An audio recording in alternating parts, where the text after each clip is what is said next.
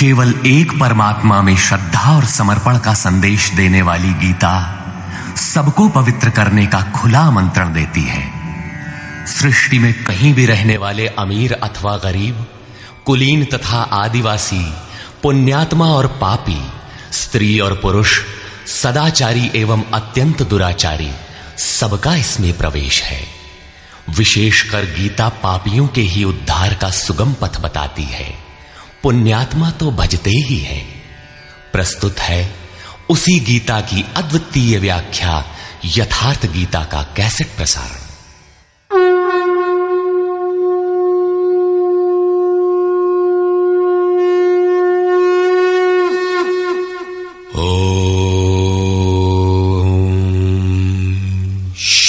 परमात्मने नमः। यथार्थ गीता। श्रीमद् भगवत गीता अथ द्वितीयो अध्याय प्रथम अध्याय गीता की प्रवेशिका है, जिसमें आरंभ में पथिक को प्रतीत होने वाली उलझनों का चित्रण है। लड़ने वाले संपूर्ण कौरव पांडव थे, किंतु संशय का पात्र मात्र अर्जुन है। अनुराग ही अर्जुन है। इष्ट के अनुरूप राग ही पथिक को क्षेत्र क्षेत्रज्ञ के संघर्ष के लिए प्रेरित करता है। अनुराग आरंभिक स्तर है। पूज्य महाराज जी कहते थे, सदगृहस्थ आश्रम में रहते हुए ग्लानी होने लगे।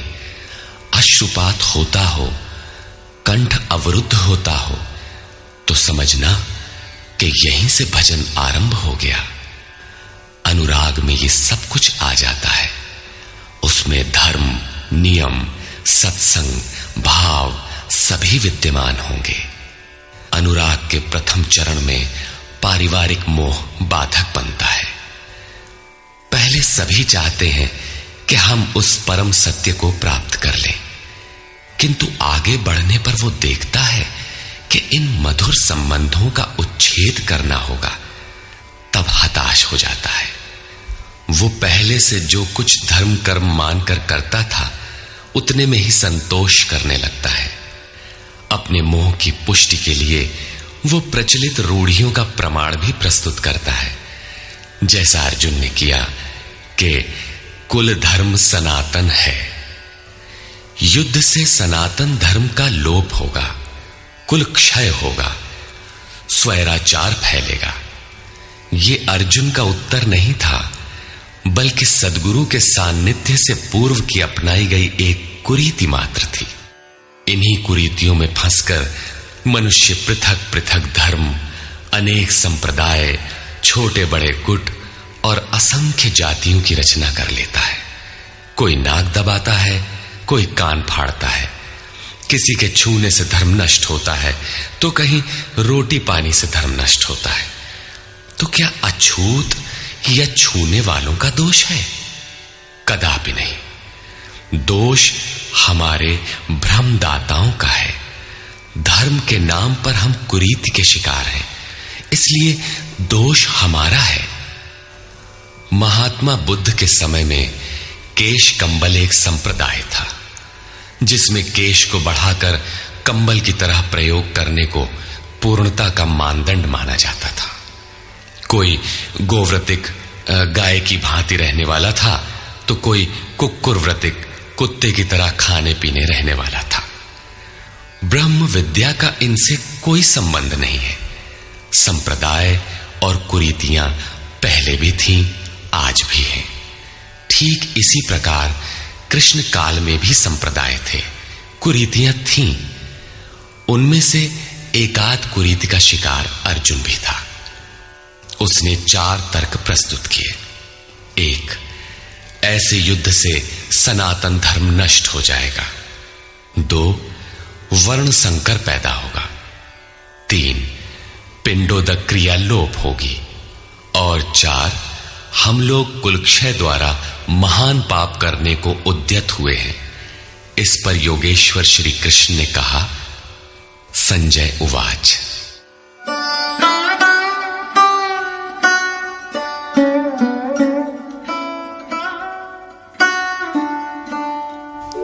तन्तथा कृपयाविष्टम् अश्रुपूर्णाकुलेक्षणम् विषीदन्तमिदं वाक्यम् उवाच मधुसूदनः करुणा से व्याप्त अश्रुपूर्ण व्याकुल नेत्रों वाले उस अर्जुन के प्रति मधुसूदन मद का विनाश करने वाले भगवान ने ये वचन कहा। श्री भगवान उवाच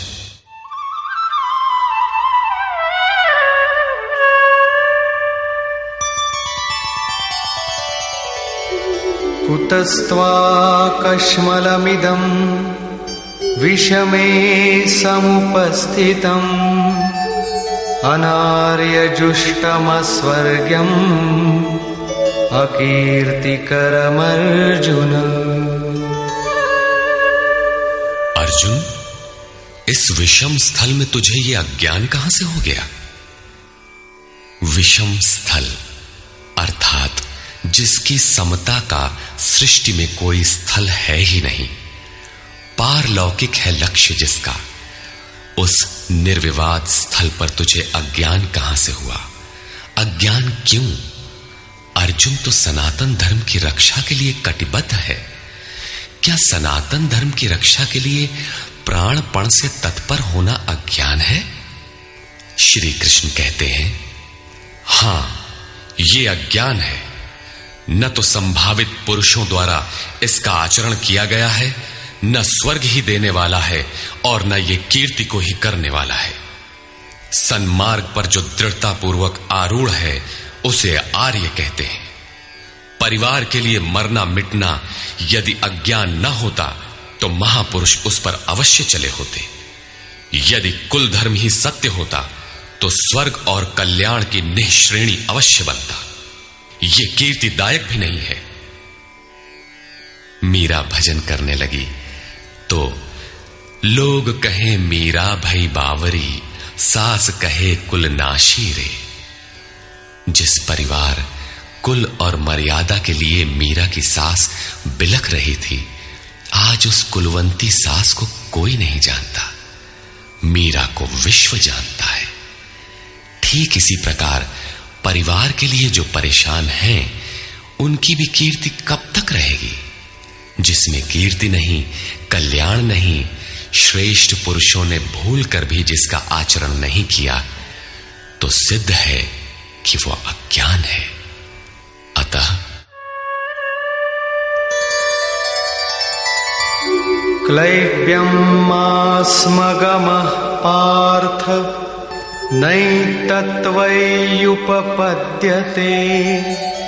क्षुद्रम् हृदयदौर्बल्यम् त्यक्त्वोत्तिष्ठ परन्तप। अर्जुन नपुंसकता को मत प्राप्त हो। क्या अर्जुन नपुंसक था क्या आप पुरुष हैं? नपुंसक वो है जो पौरुष से हीन हो। सब अपनी समझ से पुरुषार्थ ही तो करते हैं। किसान रात दिन खून पसीना एक करके खेत में पुरुषार्थ ही तो करता है।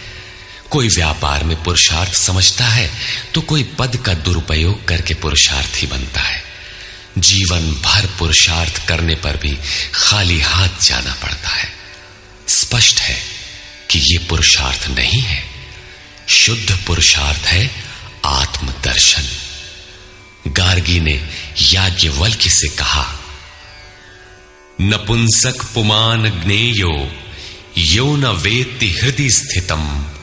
पुरुषम स्वप्रकाशम तस्मानंदात्मान मव्ययम वो पुरुष होते हुए भी नपुंसक है, जो हृदयस्थ आत्मा को नहीं पहचानता। वो आत्मा ही पुरुष स्वरूप, स्वयं प्रकाश, उत्तम आनंद युक्त और अव्यक्त है। उसे पाने का प्रयास ही पौरुष है। अर्जुन, तू नपुंसकता को न प्राप्त हो। यह तेरे योग्य नहीं है। हे परम तप हृदय की इस क्षुद्र दुर्बलता को त्याग कर युद्ध के लिए खड़ा हो। इस पर अर्जुन ने तीसरा प्रश्न प्रस्तुत किया। अर्जुन उवाच।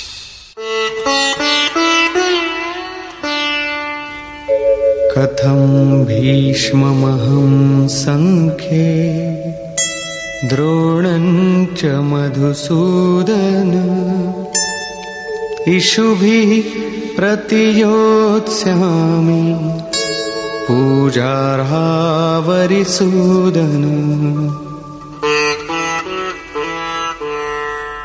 अहंकार का शमन करने वाले मधुसूदन, मैं रणभूमि में पितामह भीष्म और आचार्य द्रोण से किस प्रकार बाणों से युद्ध करूँगा? क्योंकि अरिसूदन, वे दोनों ही पूजनीय हैं। द्वैत ही द्रोण है। प्रभु अलग है, हम अलग हैं। द्वैत का यह भान ही प्राप्ति की प्रेरणा का आरंभिक स्रोत है। यही द्रोणाचार्य का गुरुत्व है। भ्रम ही भीष्म है। जब तक भ्रम है, तभी तक बच्चे, परिवार, रिश्तेदार सभी अपने लगते हैं। अपना लगने में भ्रम ही माध्यम है। आत्मा इन्हीं को पूज्य मानकर इनके साथ रहता है कि ये पिता हैं, दादा हैं, कुलगुरु हैं, इत्यादि। साधन के पूर्ति काल में गुरु न चेला, पुरुष अकेला। न बंधुर न मित्रम गुरुर्नैव शिष्य चिदानंद रूप शिवोहम शिवोहम जब चित्त उस परम आनंद में विलय हो जाता है तब न गुरु ज्ञान दाता और न शिष्य ग्रहण करता ही रह जाता है। यही परम की स्थिति है। गुरु का गुरुत्व प्राप्त कर लेने पर गुरुत्व एक जैसा हो जाता है। श्री कृष्ण कहते हैं, अर्जुन, तुम मुझमें निवास करेगा।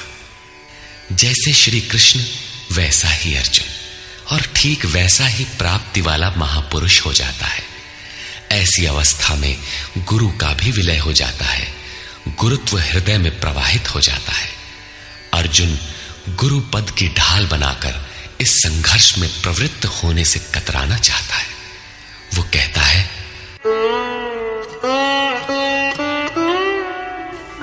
गुरून् हत्वा हि महानुभावान्। श्रेयो भोक्तुं भैक्षमपीह लोके हत्वार्थकामास्तु गुरूनिहैव भुञ्जीय भोगान् रुधिरप्रदिग्धान् इन महानुभाव गुरुजनों को न मारकर मैं इस लोक में भिक्षा का अन्न भी श्रेयस्कर समझता हूँ। यहाँ भिक्षा का अर्थ उदर पोषण के लिए भीख मांगना नहीं, बल्कि सत्पुरुषों की टूटी फूटी सेवा द्वारा उनसे कल्याण की याचना ही भिक्षा है। अन्नम ब्रह्मेति व्यजानात। अन्न एकमात्र परमात्मा है, जिसे प्राप्त करके आत्मा सदा के लिए तृप्त हो जाता है, कभी अतृप्त नहीं रहता। हम महापुरुषों की सेवा और याचना द्वारा शनै शनैह ब्रह्म पीयूष प्राप्त करें। किंतु ये परिवार न छूटे, यही अर्जुन के भिक्षान्न की कामना है। संसार में अधिकांश लोग ऐसा ही करते हैं। वे चाहते हैं कि पारिवारिक स्नेह संबंध न मारना पड़े और मुक्ति भी शनै शनै मिल जाए। किंतु चलने वाले पथिक के लिए, जिसके संस्कार इनसे ऊपर है जिसमें संघर्ष की क्षमता है, स्वभाव में क्षत्रियत्व प्रवाहित है, उसके लिए इस भिक्षान्न का विधान नहीं है। स्वयं न करके याचना करना भिक्षान्न है। गौतम बुद्ध ने भी मध्यम निकाय के धम्म दायाद सुत्त में इस भिक्षान्न की आमिष दायाद कहकर उसे हेय माना है, जबकि शरीर यापन से सभी भिक्षु थे। इन गुरुजनों को मारकर मिलेगा क्या? इस लोक में रुधिर से सने अर्थ और काम के भोग ही तो भोगने को मिलेंगे। अर्जुन कदाचित सोचता था कि भजन से भौतिक सुखों की मात्रा में अभिवृद्धि होगी। इतना संघर्ष झेलने के बाद भी इस शरीर के पोषक अर्थ और काम के भोग ही तो मिलेंगे। वो पुनः तर्क देता है।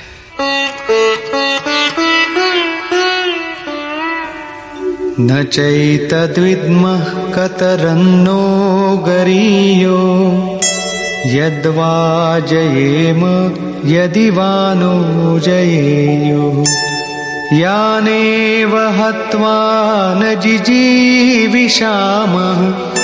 तेव स्थिताः प्रमुखे धार्तराष्ट्राः। ये भी निश्चित नहीं है कि वो भोग मिलेगा ही। ये भी हम नहीं जानते कि हमारे लिए क्या करना श्रेयस्कर है, क्योंकि जो कुछ हमने कहा, वो अज्ञान प्रमाणित हो गया। ये भी ज्ञात नहीं है कि हम जीतेंगे अथवा वे ही जीतेंगे। जिन्हें मारकर हम जीना भी नहीं चाहते, वे ही धृतराष्ट्र के पुत्र हमारे सामने खड़े हैं। अज्ञान रूपी धृतराष्ट्र से उत्पन्न मोह इत्यादि स्वजन समुदाय मिट ही जाएँगे। तब हम जीकर ही क्या करेंगे? अर्जुन पुनः सोचता है कि जो कुछ हमने कहा, कदाचित ये भी अज्ञान हो। अतः प्रार्थना करता है। कार्पण्यदोषोपहत स्वभावः पृच्छामि त्वां धर्मसम्मूढचेताः। यच्छ्रेयस्यान्निश्चितं ब्रूहि तन्मे। शिष्यस्तेऽहं शाधि माँ प्रपन्नम्। कायरता के दोष से नष्ट स्वभाव वाला, धर्म के विषय में सर्वथा मोहित चित्त हुआ, मैं आपसे पूछता हूँ, जो कुछ निश्चित परम कल्याणकारी हो, वो साधन मेरे लिए कहिए। यहाँ अर्जुन ने पूर्ण समर्पण कर दिया। अभी तक वो श्री कृष्ण को अपने स्तर का ही समझता था। अनेक विद्याओं में अपने को कुछ आगे ही मानता था। यहाँ उसने अपनी बागडोर श्री कृष्ण को वस्तुतः सौंप दी। सदगुरु पूर्ति पर्यंत हृदय में रहकर साधक के साथ चलते हैं। यदि वे साथ न रहे तो साधक पार न हो। युवा कन्या के परिवार वाले जिस प्रकार शादी विवाह तक उसको संयम की शिक्षा देते हुए संभाल ले जाते हैं, ठीक उसी प्रकार सदगुरु अपने शिष्य की अंतरात्मा से रथी होकर उसे प्रकृति की घाटियों से निकालकर पार कर देते हैं। अर्जुन निवेदन करता है कि भगवान, एक बात और है।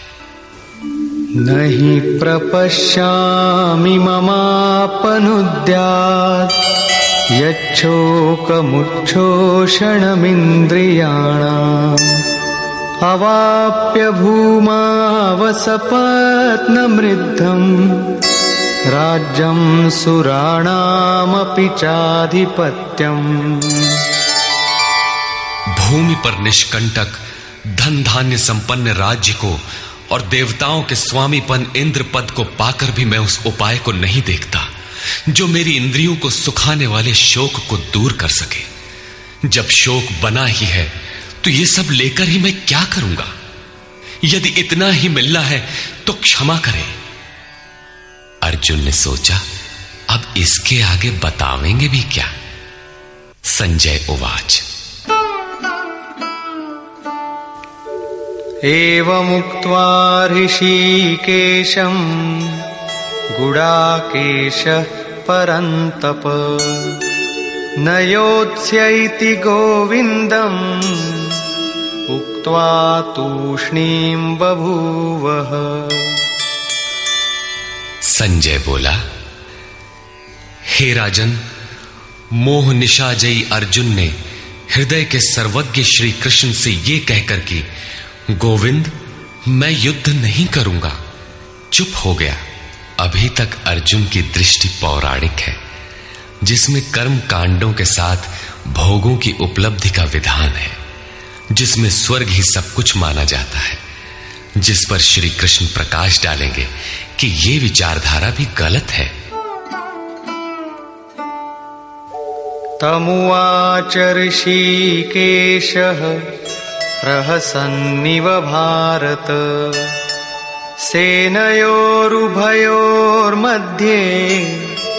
विषीदन्तमिदं वचः। उसके उपरांत हे भरतवंशी धृतराष्ट्र, अंतर्यामी योगेश्वर श्री कृष्ण ने दोनों सेनाओं के बीच में उस शोक युक्त अर्जुन को हँसते हुए से ये वचन कहा। श्री भगवानुवाच। अशोचानन्वशोचस्त्वम् प्रज्ञावादांश्च भाषसे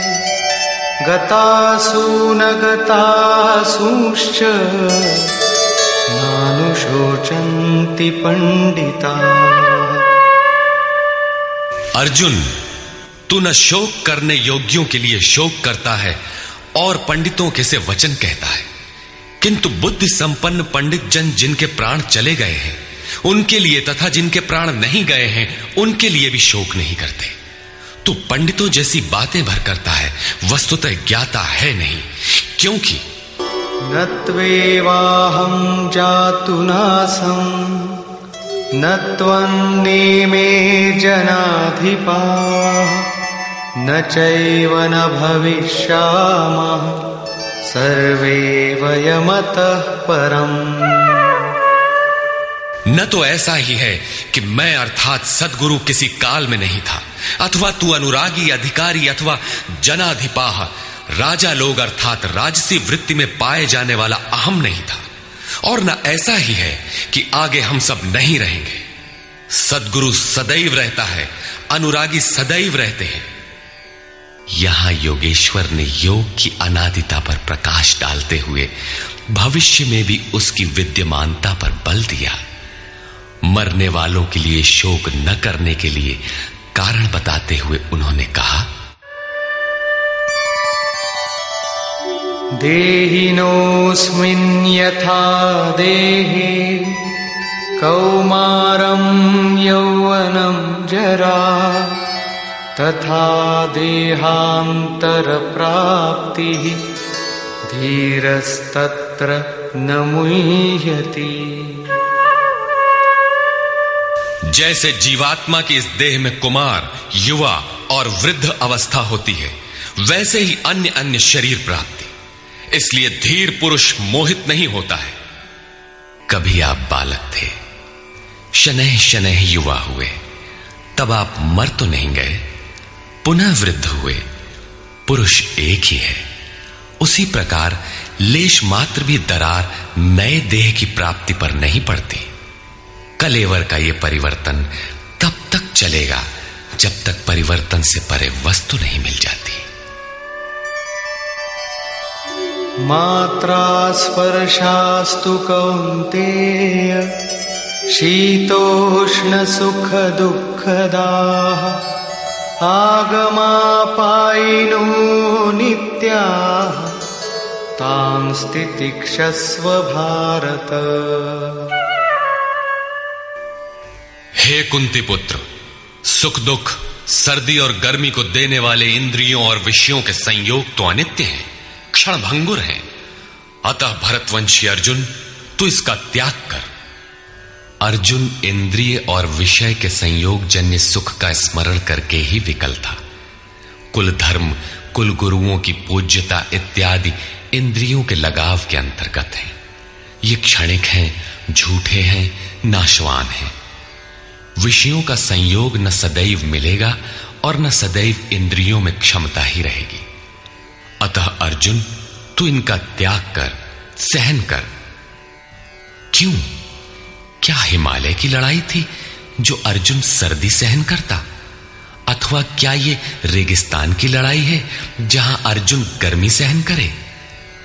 कुरुक्षेत्र जैसा कि लोग बाहर बताते हैं, समशीतोष्ण स्थली है। कुल अठारह दिन तो लड़ाई हुई, इतने में कहाँ जाड़ा गर्मी बीत गई? वस्तुतः सर्दी गर्मी, दुख सुख, मान अपमान का सहन करना एक योगी पर निर्भर करता है। यह हृदय देश की लड़ाई का चित्रण है। बाहर युद्ध के लिए गीता नहीं कहती। यह क्षेत्र क्षेत्रज्ञ का संघर्ष है, जिसमें आसुरी संपद का सर्वथा शमन कर परमात्मा में स्थिति दिलाकर दैवी संपद भी शांत हो जाती है। जब विकार है ही नहीं तो सजातीय प्रवृत्तियाँ किस पर आक्रमण करें? अतः पूर्णत्व के साथ वे भी शांत हो जाती हैं। इससे पहले नहीं, गीता अंतरदेश की लड़ाई का चित्रण है। इस त्याग से मिलेगा क्या? इससे लाभ क्या है? इस पर श्री कृष्ण कहते हैं, यम ही न व्यथयन्ते ते, पुरुषं समदुःखसुखं धीरम् सोमृतत्वाय कल्पते। क्योंकि हे पुरुष श्रेष्ठ, दुख सुख को समान समझने वाले जिस धीर पुरुष को इंद्रियों और विषयों के संयोग व्यथित नहीं कर पाते, वो मृत्यु से परे अमृत तत्व की प्राप्ति के योग्य हो जाता है। यहाँ श्री कृष्ण ने एक उपलब्धि, अमृत की चर्चा की। अर्जुन सोचता था कि युद्ध के परिणाम में स्वर्ग मिलेगा या पृथ्वी। किंतु श्री कृष्ण कहते हैं कि न स्वर्ग मिलेगा और न पृथ्वी, बल्कि अमृत मिलेगा। अमृत क्या है? ना सतो विद्यते भावो, नाभावो विद्यते सतः।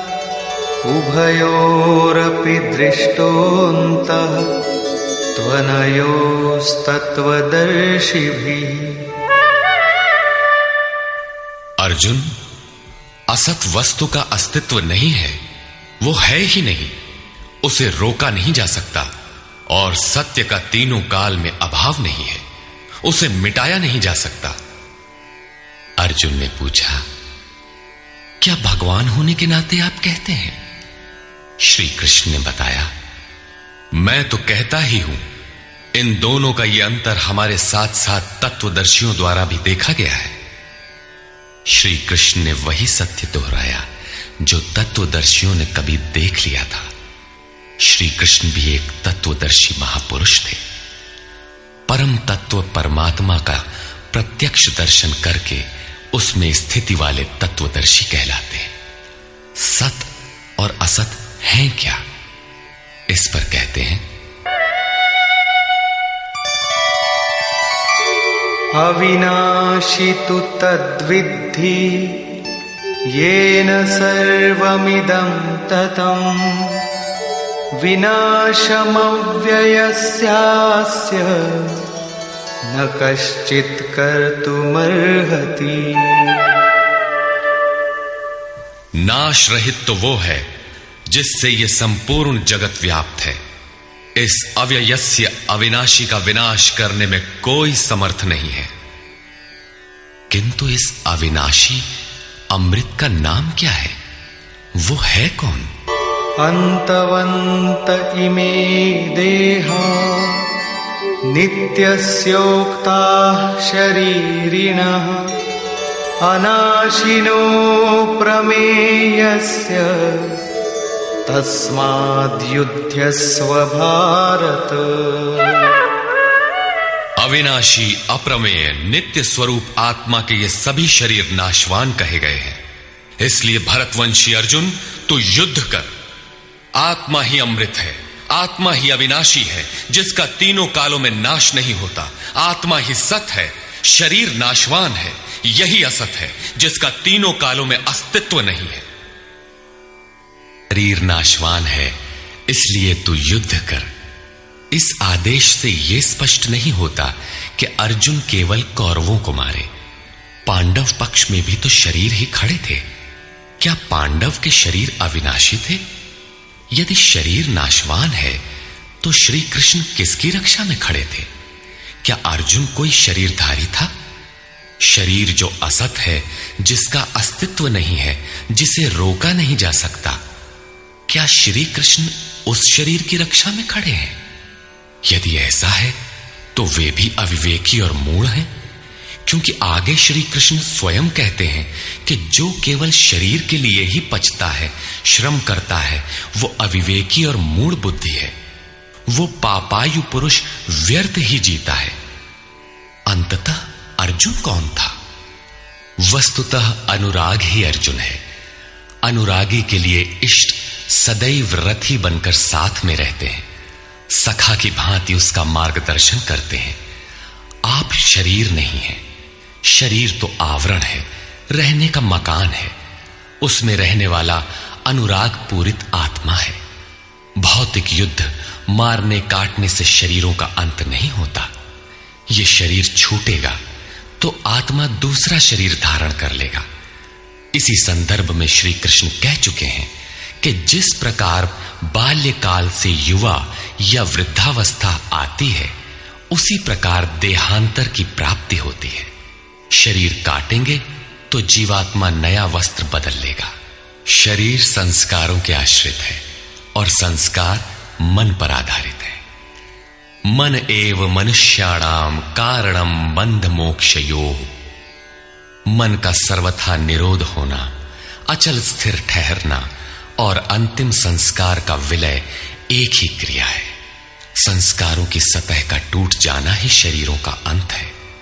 इसे तोड़ने के लिए आपको आराधना करनी होगी, जिसे श्री कृष्ण ने कर्म या निष्काम कर्मयोग की संज्ञा दी है। कृष्ण ने स्थान स्थान पर अर्जुन को युद्ध की प्रेरणा दी। किंतु एक भी श्लोक ऐसा नहीं है जो भौतिक युद्ध या मारकाट का समर्थन करता हो। यह युद्ध सजातीय विजातीय प्रवृत्तियों का है। अंतरदेश में है।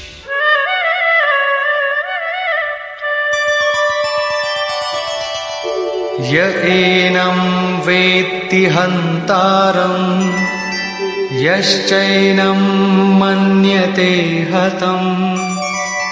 उभौ तौ न विजानीतो।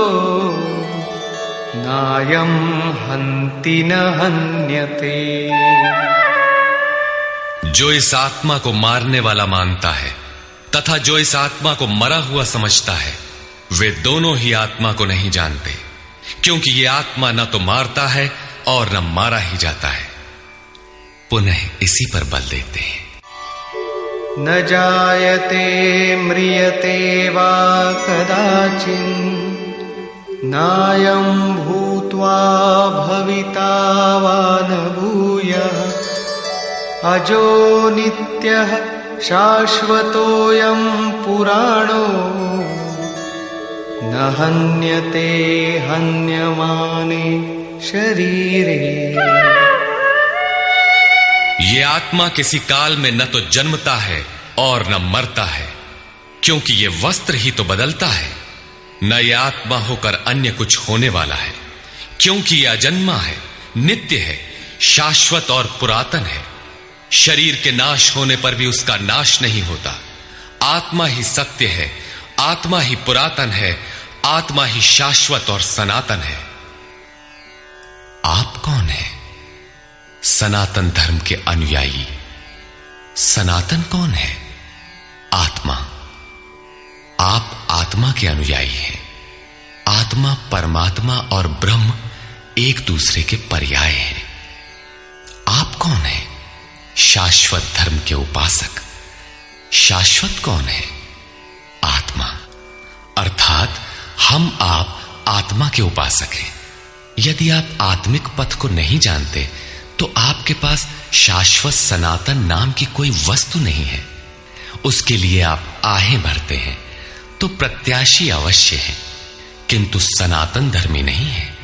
सनातन धर्म के नाम पर किसी कुरीति के शिकार हैं। देश विदेश में, मानव मात्र में आत्मा एक ही जैसा है। इसलिए विश्व में कहीं भी कोई आत्मा की स्थिति दिलाने वाली क्रिया जानता है और उस पर चलने के लिए प्रयत्नशील है तो वो सनातन धर्मी है। चाहे वो अपने को ईसाई, मुसलमान, यहूदी या कुछ भी क्यों न कह ले। वेदा विनाशिनम नित्यम य कथम सपुरुष पार्थ कम घातयति हंतिकम पार्थिव शरीर को रथ बनाकर ब्रह्म रूपी लक्ष्य पर अचूक निशाना लगाने वाला पृथा पुत्र अर्जुन, जो पुरुष इस आत्मा को नाश रहित नित्य, अजन्मा और अव्यक्त जानता है, वो पुरुष कैसे किसी को मरवाता है और कैसे किसी को मारता है? अविनाशी का विनाश असंभव है। अजन्मा जन्म नहीं लेता। अतः शरीर के लिए शोक नहीं करना चाहिए। इसी को उदाहरण से स्पष्ट करते हैं।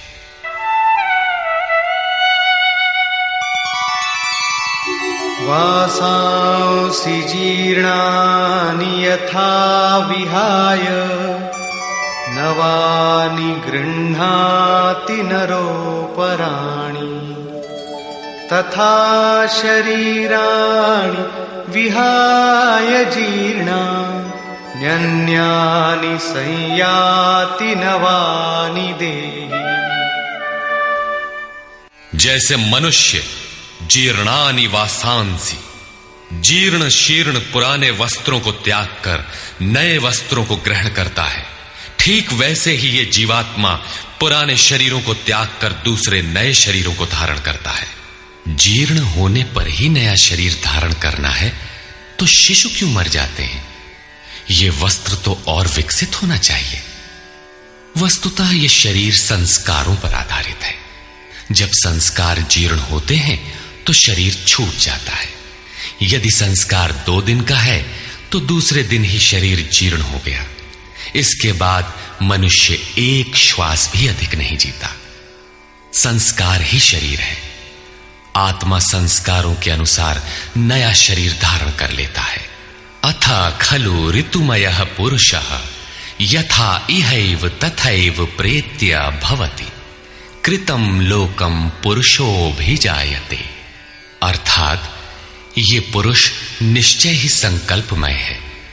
इस लोक में पुरुष जैसा निश्चय वाला होता है, वैसा ही यहाँ से मरकर जाने पर होता है।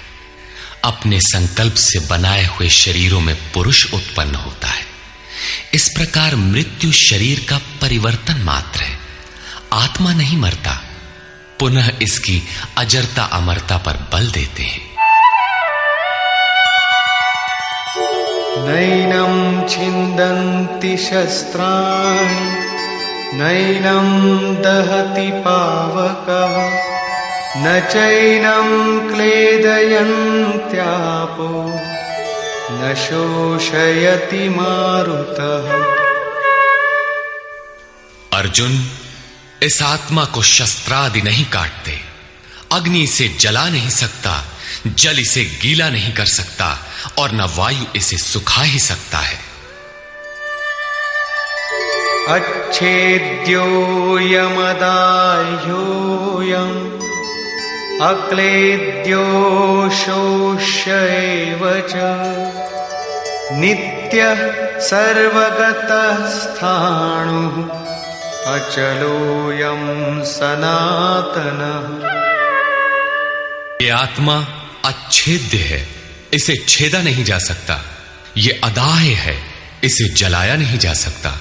ये अक्लेद्य है, इसे गीला नहीं किया जा सकता। आकाश इसे अपने में समाहित नहीं कर सकता। यह आत्मा निसंदेह, अशोष्य, सर्वव्यापक, अचल, स्थिर रहने वाला और सनातन है। अर्जुन ने कहा था कि कुल धर्म सनातन है। ऐसा युद्ध करने से सनातन धर्म नष्ट हो जाएगा। किंतु श्री कृष्ण ने इसे अज्ञान माना और आत्मा को ही सनातन बताया। आप कौन हैं? सनातन धर्म के अनुयायी। सनातन कौन है? आत्मा।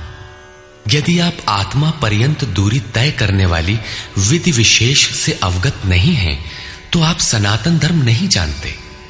इसका कुपरिणाम सांप्रदायिकता में फंसे धर्म भीरू लोगों को भोगना पड़ रहा है। जब मैटर क्षेत्र में पैदा होने वाली कोई वस्तु इस सनातन का स्पर्श नहीं कर सकती तो छूने खाने से सनातन धर्म नष्ट कैसे हो सकता है? यह धर्म नहीं, एक कुरीति परिस्थिति थी, जिससे भारत में सांप्रदायिक वैमनस्य बढ़ा और राष्ट्रीय एकता की आज भी समस्या बनी हुई है। धर्म की शरण हम क्यों जाते हैं?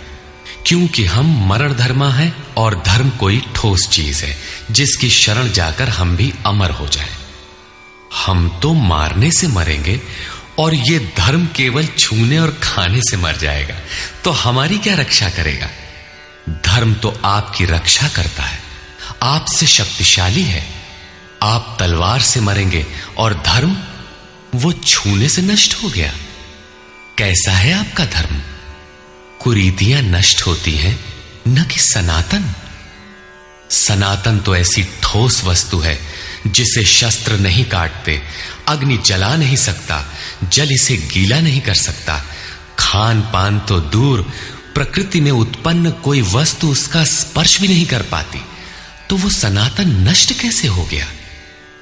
ऐसी ही कतिपय कुरीतियाँ अर्जुन काल में भी थी। उनका शिकार अर्जुन भी था। उसने विलाप करते हुए गिड़गिड़ा कर कहा कि कुल धर्म सनातन है। युद्ध से सनातन धर्म नष्ट हो जाएगा। कुल धर्म नष्ट होने से हम अनंत काल तक नरक में चले जाएँगे। किंतु श्री कृष्ण ने कहा, तुझे ये अज्ञान कहाँ से उत्पन्न हो गया? सिद्ध है कि वो कोई कुरीति थी। तभी तो श्री कृष्ण ने उसका निराकरण किया और बताया कि आत्मा ही सनातन है। यदि आप आत्मिक पथ नहीं जानते तो सनातन धर्म में आपका अभी तक प्रवेश नहीं हुआ है। जब यह सनातन शाश्वत आत्मा सबके अंदर व्याप्त है तो खोजा किसे जाए? इस पर श्री कृष्ण कहते हैं, अव्यक्तोऽयमचिन्त्योऽयम्। अविकार्योऽयमुच्यते तस्मादेवं विदित्वैनम् नानुशोचितुमर्हसि। ये आत्मा अव्यक्त अर्थात इंद्रियों का विषय नहीं है। इंद्रियों के द्वारा इसे समझा नहीं जा सकता। जब तक इंद्रियों और विषयों का संयोग है, तब तक आत्मा तो है। किंतु उसे समझा नहीं जा सकता। वो अचिंत्य है। जब तक चित्त और चित्त की लहर है, तब तक वो शाश्वत है तो किंतु हमारे दर्शन, उपभोग और प्रवेश के लिए नहीं है। अतः चित्त का निरोध करें। पीछे श्री कृष्ण बता आए हैं कि असत वस्तु का अस्तित्व नहीं है और सत का तीनों कालों में अभाव नहीं है। वो सत है आत्मा। आत्मा ही अपरिवर्तनशील, शाश्वत, सनातन और अव्यक्त है। तत्वदर्शियों ने आत्मा को इन विशेष गुणधर्मों से युक्त देखा। न दस भाषाओं के ज्ञाता ने देखा, न किसी समृद्धशाली ने देखा, बल्कि तत्वदर्शियों ने देखा। श्री कृष्ण ने आगे बताया कि तत्व है परमात्मा। मन के निरोध काल में साधक उसका दर्शन और उसमें प्रवेश पाता है। प्राप्ति काल में भगवान मिलते हैं और दूसरे ही क्षण वो अपने आत्मा को ईश्वरीय गुण धर्मों से विभूषित देखता है। वो देखता है कि आत्मा ही सत्य, सनातन और परिपूर्ण है। ये आत्मा अचिंत्य है। ये विकार रहित अर्थात न बदलने वाला कहा जाता है। अतः अर्जुन, आत्मा को ऐसा जानकर तू शोक करने योग्य नहीं है। अब श्री कृष्ण अर्जुन के विचारों में विरोधाभास दिखाते हैं, जो सामान्य तर्क है। अथ चैनम नित्यजातम, नित्यं वा मन्यसे मृतम्। तथापि त्वं महाबाहो। नैवं शोचितुमर्हसि। यदि तू इसे सदैव जन्मने वाला और सदा मरने वाला माने तब भी तुझे शोक नहीं करना चाहिए क्योंकि जातस्य हि ध्रुवो मृत्युः ध्रुवं जन्ममृतस्य च। तस्मादपरिहार्येऽर्थे न त्वं शोचितुमर्हसि। ऐसा मान लेने पर भी जन्मने वाले की निश्चित मृत्यु और मरने वाले का निश्चित जन्म सिद्ध होता है। इसलिए भी तू बिना उपाय वाले इस विषय में शोक करने लायक नहीं है जिसका कोई इलाज नहीं। उसके लिए शोक करना एक अन्य दुख को आमंत्रित करना है। अव्यक्त अव्यक्तादीनि भूतानि, व्यक्तमध्यानि भारत, अव्यक्तनिधनान्येव, तत्र का परिदेवना। अर्जुन, संपूर्ण प्राणी जन्म से पहले बिना शरीर वाले और मरने के बाद भी बिना शरीर वाले। हैं जन्म के पूर्व और पश्चात भी दिखाई नहीं पड़ते। केवल जन्म मृत्यु के बीच में ही शरीर धारण किए हुए दिखाई देते हैं। अतः इस परिवर्तन के लिए व्यर्थ की चिंता क्यों करते हो? इस आत्मा को देखता कौन है? इस पर कहते हैं, आश्चर्यवत् पश्यति कश्चिदेनम्। आश्चर्यवद्वदति तथैव चान्यः। आश्चर्यवच्चैनमन्यः शृणोति। श्रुत्वाप्येनं वेद न चैव कश्चित्। पहले श्री कृष्ण ने कहा था कि इस आत्मा को तत्वदर्शियों ने देखा है। अब तत्व दर्शन की दुर्लभता पर प्रकाश डालते हैं। कि कोई विरला महापुरुष ही इस आत्मा को आश्चर्य की तरह देखता है, सुनता नहीं, प्रत्यक्ष देखता है, और वैसे ही दूसरा कोई महापुरुष ही आश्चर्य की तरह इसके तत्व को कहता है। जिसने देखा है, वही यथार्थ कह सकता है। दूसरा कोई विरला साधक इसे आश्चर्य की भांति सुनता है, सब सुनते भी नहीं, क्योंकि ये अधिकारी के लिए ही है। हे अर्जुन कोई कोई तो सुनकर भी इस आत्मा को नहीं जान पाते, क्योंकि साधन पार नहीं लगता। आप लाख ज्ञान की बातें सुने, समझें, बाल की खाल निकाल कर समझें, लालायित भी रहे, किंतु मोह बड़ा प्रबल है। थोड़ी देर बाद ही आप अपनी सांसारिक व्यवस्थाओं में लिप्त मिलेंगे। अंत में श्री कृष्ण निर्णय देते हैं। देही नित्यमवध्योऽयम् देहे सर्वस्य भारत। तस्मात् सर्वाणि भूतानि। न शोचितुमर्हसि। अर्जुन, ये आत्मा सबके शरीर में सदैव अवध्य है, अकाट्य है। इसलिए संपूर्ण भूत प्राणियों के लिए तो शोक करने योग्य नहीं है। आत्मा ही सनातन है। इस तथ्य का प्रतिपादन करके, इसका प्रभुता सहित वर्णन करके यह प्रश्न यही पूरा हो जाता है। अब प्रश्न खड़ा होता है कि इसकी प्राप्ति कैसे हो। संपूर्ण गीता में इसके लिए दो ही मार्ग हैं। पहला निष्काम कर्म योग और दूसरा ज्ञान योग। दोनों मार्गों में किया जाने वाला कर्म एक ही है। उस कर्म की अनिवार्यता पर बल देते हुए योगेश्वर श्री कृष्ण ज्ञान योग के विषय में कहते हैं, स्वधर्ममपि चावेक्ष न विकम्पितुमर्हसि।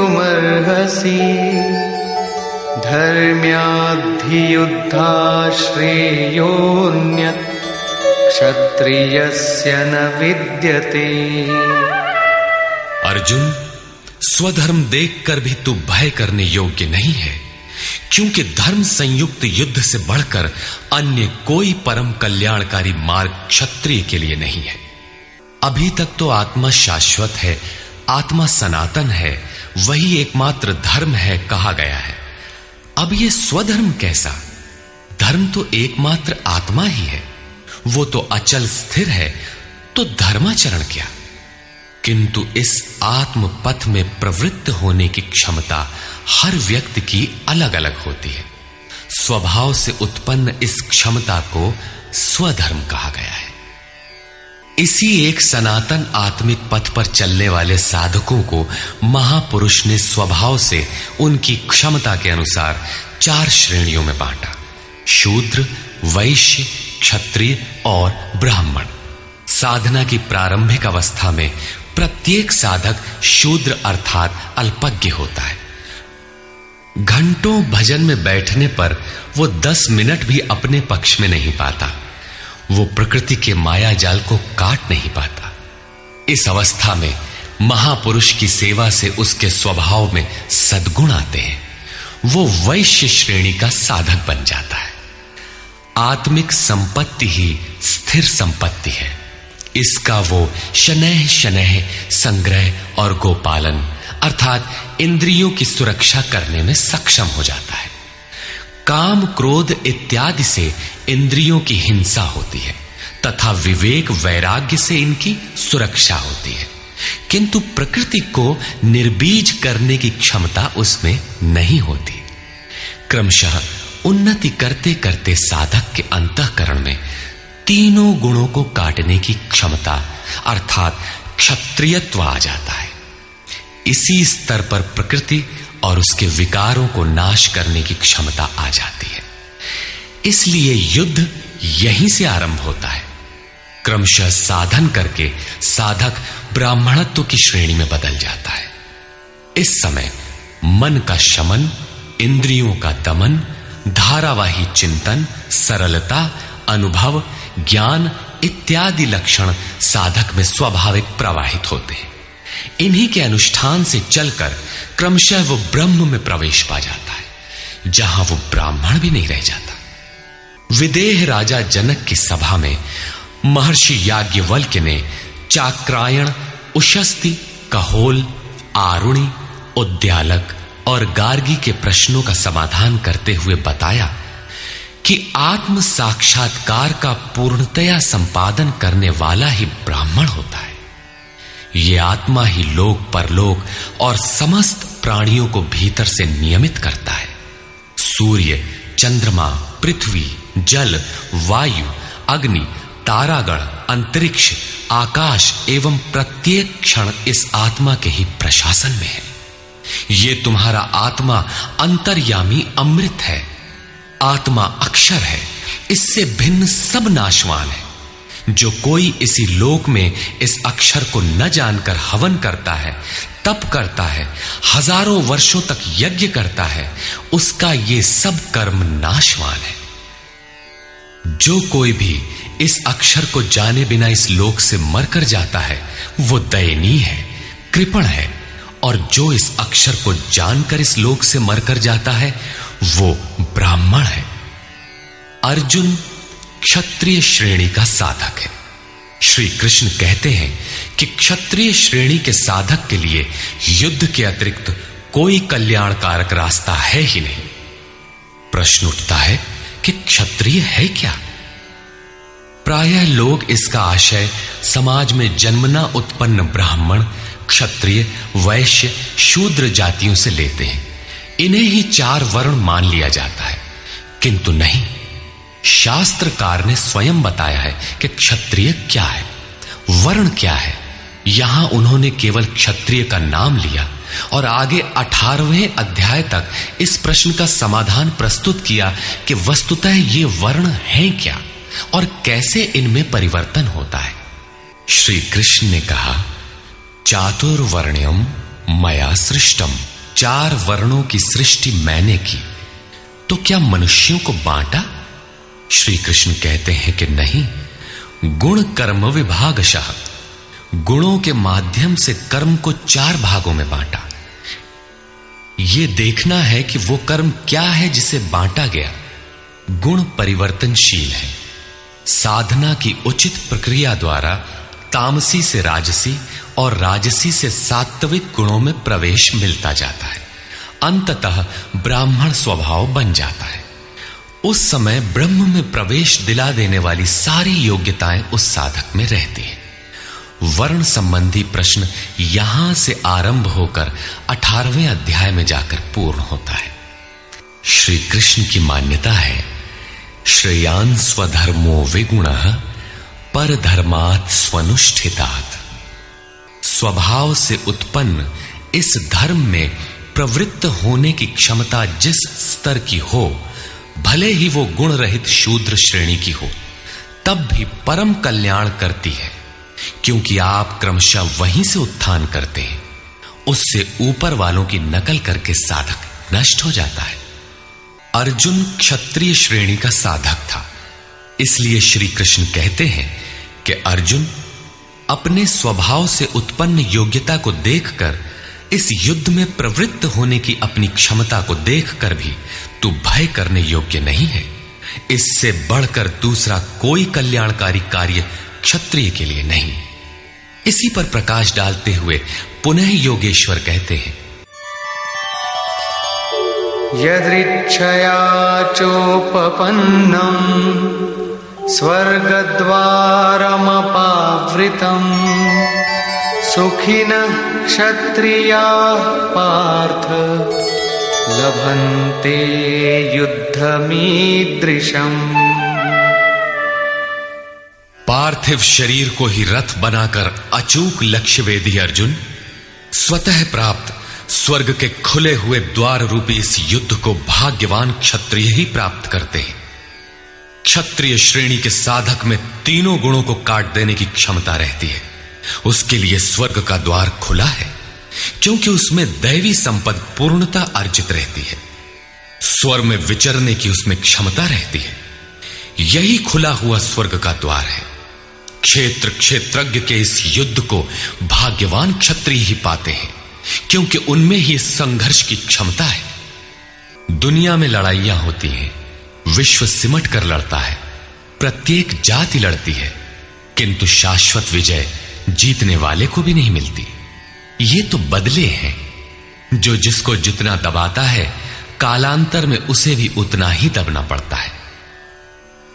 ये कैसी विजय है, जिसमें इंद्रियों को सुखाने वाला शोक बना ही रहता है? अंत में शरीर भी नष्ट हो जाता है। वास्तविक संघर्ष तो क्षेत्र और क्षेत्रज्ञ का है, जिसमें एक बार विजय हो जाने पर प्रकृति का सदा के लिए निरोध और परम पुरुष परमात्मा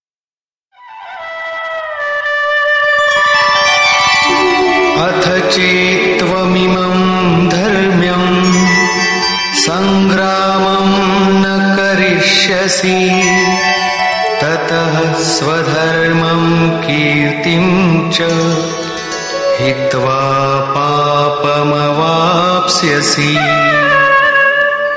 और यदि तू इस धर्म युक्त संग्राम, अर्थात शाश्वत सनातन परम धर्म परमात्मा में प्रवेश दिलाने वाला धर्म युद्ध नहीं करेगा तो स्वधर्म अर्थात स्वभाव से उत्पन्न संघर्ष करने की क्षमता, क्रिया में प्रवृत्त होने की क्षमता को खोकर पाप अर्थात आवागमन और अपकीर्ति को प्राप्त होगा। अपकीर्ति पर प्रकाश डालते हैं।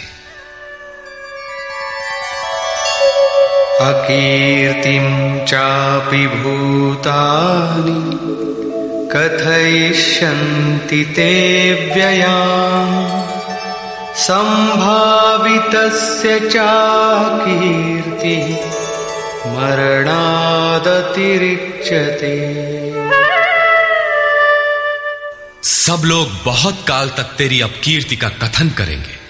आज भी पदच्युत होने वाले महात्माओं में विश्वामित्र, पाराशर, निमि, श्रृंगी इत्यादि की गणना होती है।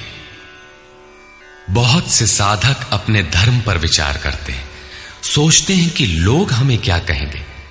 ऐसा भाव भी साधना में सहायक होता है। इससे साधना में लगे रहने की प्रेरणा मिलती है। कुछ दूरी तक यह भाव भी साथ देता है। माननीय पुरुषों के लिए अपकीर्ति मरण से भी बढ़कर होती है। भयाद्रणादुपरतम् मौस्यन्ते त्वां महारथाः। बहुमतो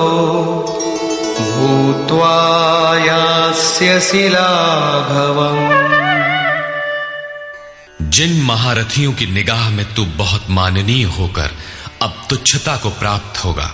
वे महारथी लोग तुझे भय के कारण युद्ध से उपराम हुआ मानेंगे। महारथी कौन? इस पथ पर महान परिश्रम से आगे बढ़ने वाले साधक महारथी हैं। इसी प्रकार इतने ही परिश्रम से अविद्या की ओर खींचने वाले काम, क्रोध, लोभ मोहादि भी महारथी हैं। जो तुझे बहुत सम्मान देते थे कि साधक प्रशंसनीय है, तुम उनकी निगाह से गिर जाओगे। इतना ही नहीं, बल्कि अवाच्यवादांश्च बहु वदिष्यन्ति तवाहिताः। निन्दन्तस्तव सामर्थ्यम्। ततो दुःखतरं नु किम्? वैरी लोग तेरे पराक्रम की निंदा करते हुए बहुत से न कहने योग्य वचनों को कहेंगे। एक दोष आता है तो चारों ओर से निंदा और बुराइयों की झड़ी लग जाती है। न कहने योग्य वचन भी कहे जाते हैं। इससे बड़ा दुख क्या होगा? अतः अतो वा स्वर्गम्। जित्वा वा भोक्ष्यसे मही। तस्मादुत्तिष्ठ कौन्तेय युद्धाय कृतनिश्चयः। इस युद्ध में मरोगे तो स्वर्ग प्राप्त करोगे। स्वर में विचरने की क्षमता रहेगी। श्वास से बाहर प्रकृति में विचरने की धाराएँ निरुद्ध हो जाएँगी। परम देव परमात्मा में प्रवेश दिलाने वाली दैवी संपद हृदय में पूर्णतः प्रवाहित रहेगी। अथवा इस संघर्ष में जीतने पर महामहिम स्थिति को प्राप्त करोगे। इसलिए अर्जुन, युद्ध के लिए निश्चय करके खड़ा हो। प्रायः लोग इस श्लोक के अर्थ में समझते हैं। कि इस युद्ध में मरोगे तो स्वर्ग जाओगे और जीतोगे तो पृथ्वी का भोग भोगोगे। किंतु आपको स्मरण होगा, अर्जुन कह चुका है, भगवान, पृथ्वी ही नहीं, अपितु त्रैलोक्य के साम्राज्य और देवताओं के स्वामीपन, अर्थात इंद्र पद प्राप्त होने पर भी मैं उस उपाय को नहीं देखता, जो इंद्रियों को सुखाने वाले मेरे शोक को दूर कर सके। यदि इतना ही मिलना है तो गोविंद, मैं युद्ध कदापि नहीं करूँगा। यदि इतने पर भी श्री कृष्ण कहते कि अर्जुन लड़ो, जीतोगे तो पृथ्वी पा जाओगे, हारोगे तो स्वर्ग के नागरिक बन जाओगे। तो श्री कृष्ण देते ही क्या है? अर्जुन इससे आगे का सत्य, श्रेय, परम कल्याण की कामना वाला शिष्य था, जिसे सदगुरुदेव श्री कृष्ण ने बताया कि क्षेत्र क्षेत्रज्ञ के इस संघर्ष में यदि शरीर का समय पूरा हो जाता है और लक्ष्य तक नहीं पहुँच सके तो स्वर्ग प्राप्त करोगे। अर्थात, स्वर में ही विचरण करने की क्षमता प्राप्त कर लोगे। दैवी संपत हृदय में ढल जाएगी और इस शरीर के रहते रहते संघर्ष में सफल हो जाते हो तो महिम, सबसे महान ब्रह्म की महिमा का उपभोग करोगे। महामहिम की स्थिति प्राप्त कर लोगे। जीतोगे तो सर्वस्व, क्योंकि महामहिमत्व को पाओगे, और हारोगे तो देवत्व। दोनों हाथों में लड्डू रहेंगे। लाभ में भी लाभ और हानि में भी लाभ ही है। पुनः इसी पर बल देते हैं। सुख दुखे समे कृत्वा लाभालाभो जया जय। ततो युद्धाय युज्यस्व। नैवं पापमवाप्स्यसि। इस प्रकार सुख दुख, लाभ हानि, जय पराजय को समान समझकर तू युद्ध के लिए तैयार हो। युद्ध करने से तू पाप को प्राप्त नहीं होगा। अर्थात सुख में सर्वस्व और दुख में भी देवत्व है। लाभ में महीम की स्थिति, अर्थात सर्वस्व और हानि में भी देवत्व है। जय में महामहिम स्थिति और पराजय में भी दैवी संपद पर अधिकार है। इस प्रकार अपने लाभ हानि को भली प्रकार स्वयं समझकर तू युद्ध के लिए तैयार हो। लड़ने में ही दोनों वस्तुएँ हैं। लड़ोगे तो पाप, अर्थात आवागमन को प्राप्त नहीं होगे। अतः तू युद्ध के लिए तैयार हो।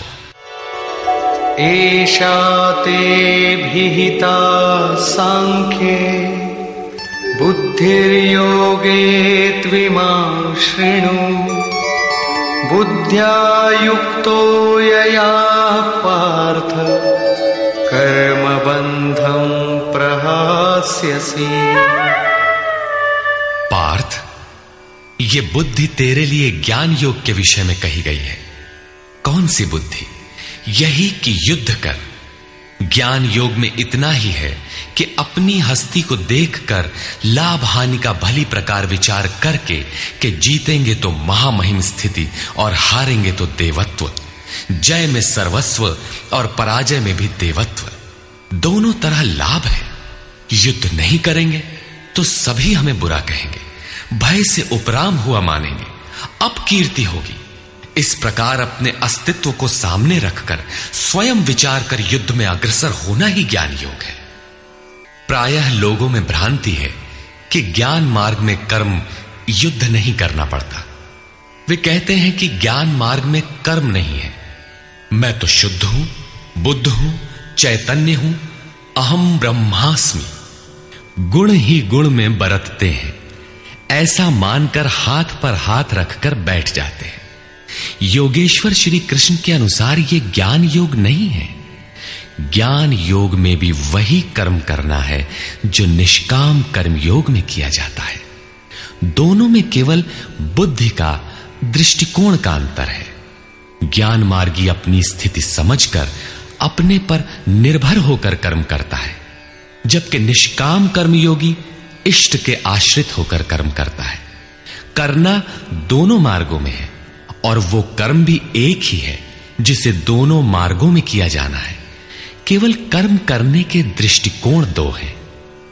अर्जुन, इसी बुद्धि को अब तू कर्म योग के विषय में सुन, जिससे युक्त हुआ तू कर्मों के बंधन का अच्छी तरह नाश करेगा। यहाँ श्री कृष्ण ने कर्म का नाम पहली बार लिया, लेकिन यह नहीं बताया कि कर्म है क्या। अब कर्म न बताकर पहले कर्म की विशेषताओं पर प्रकाश डालते हैं।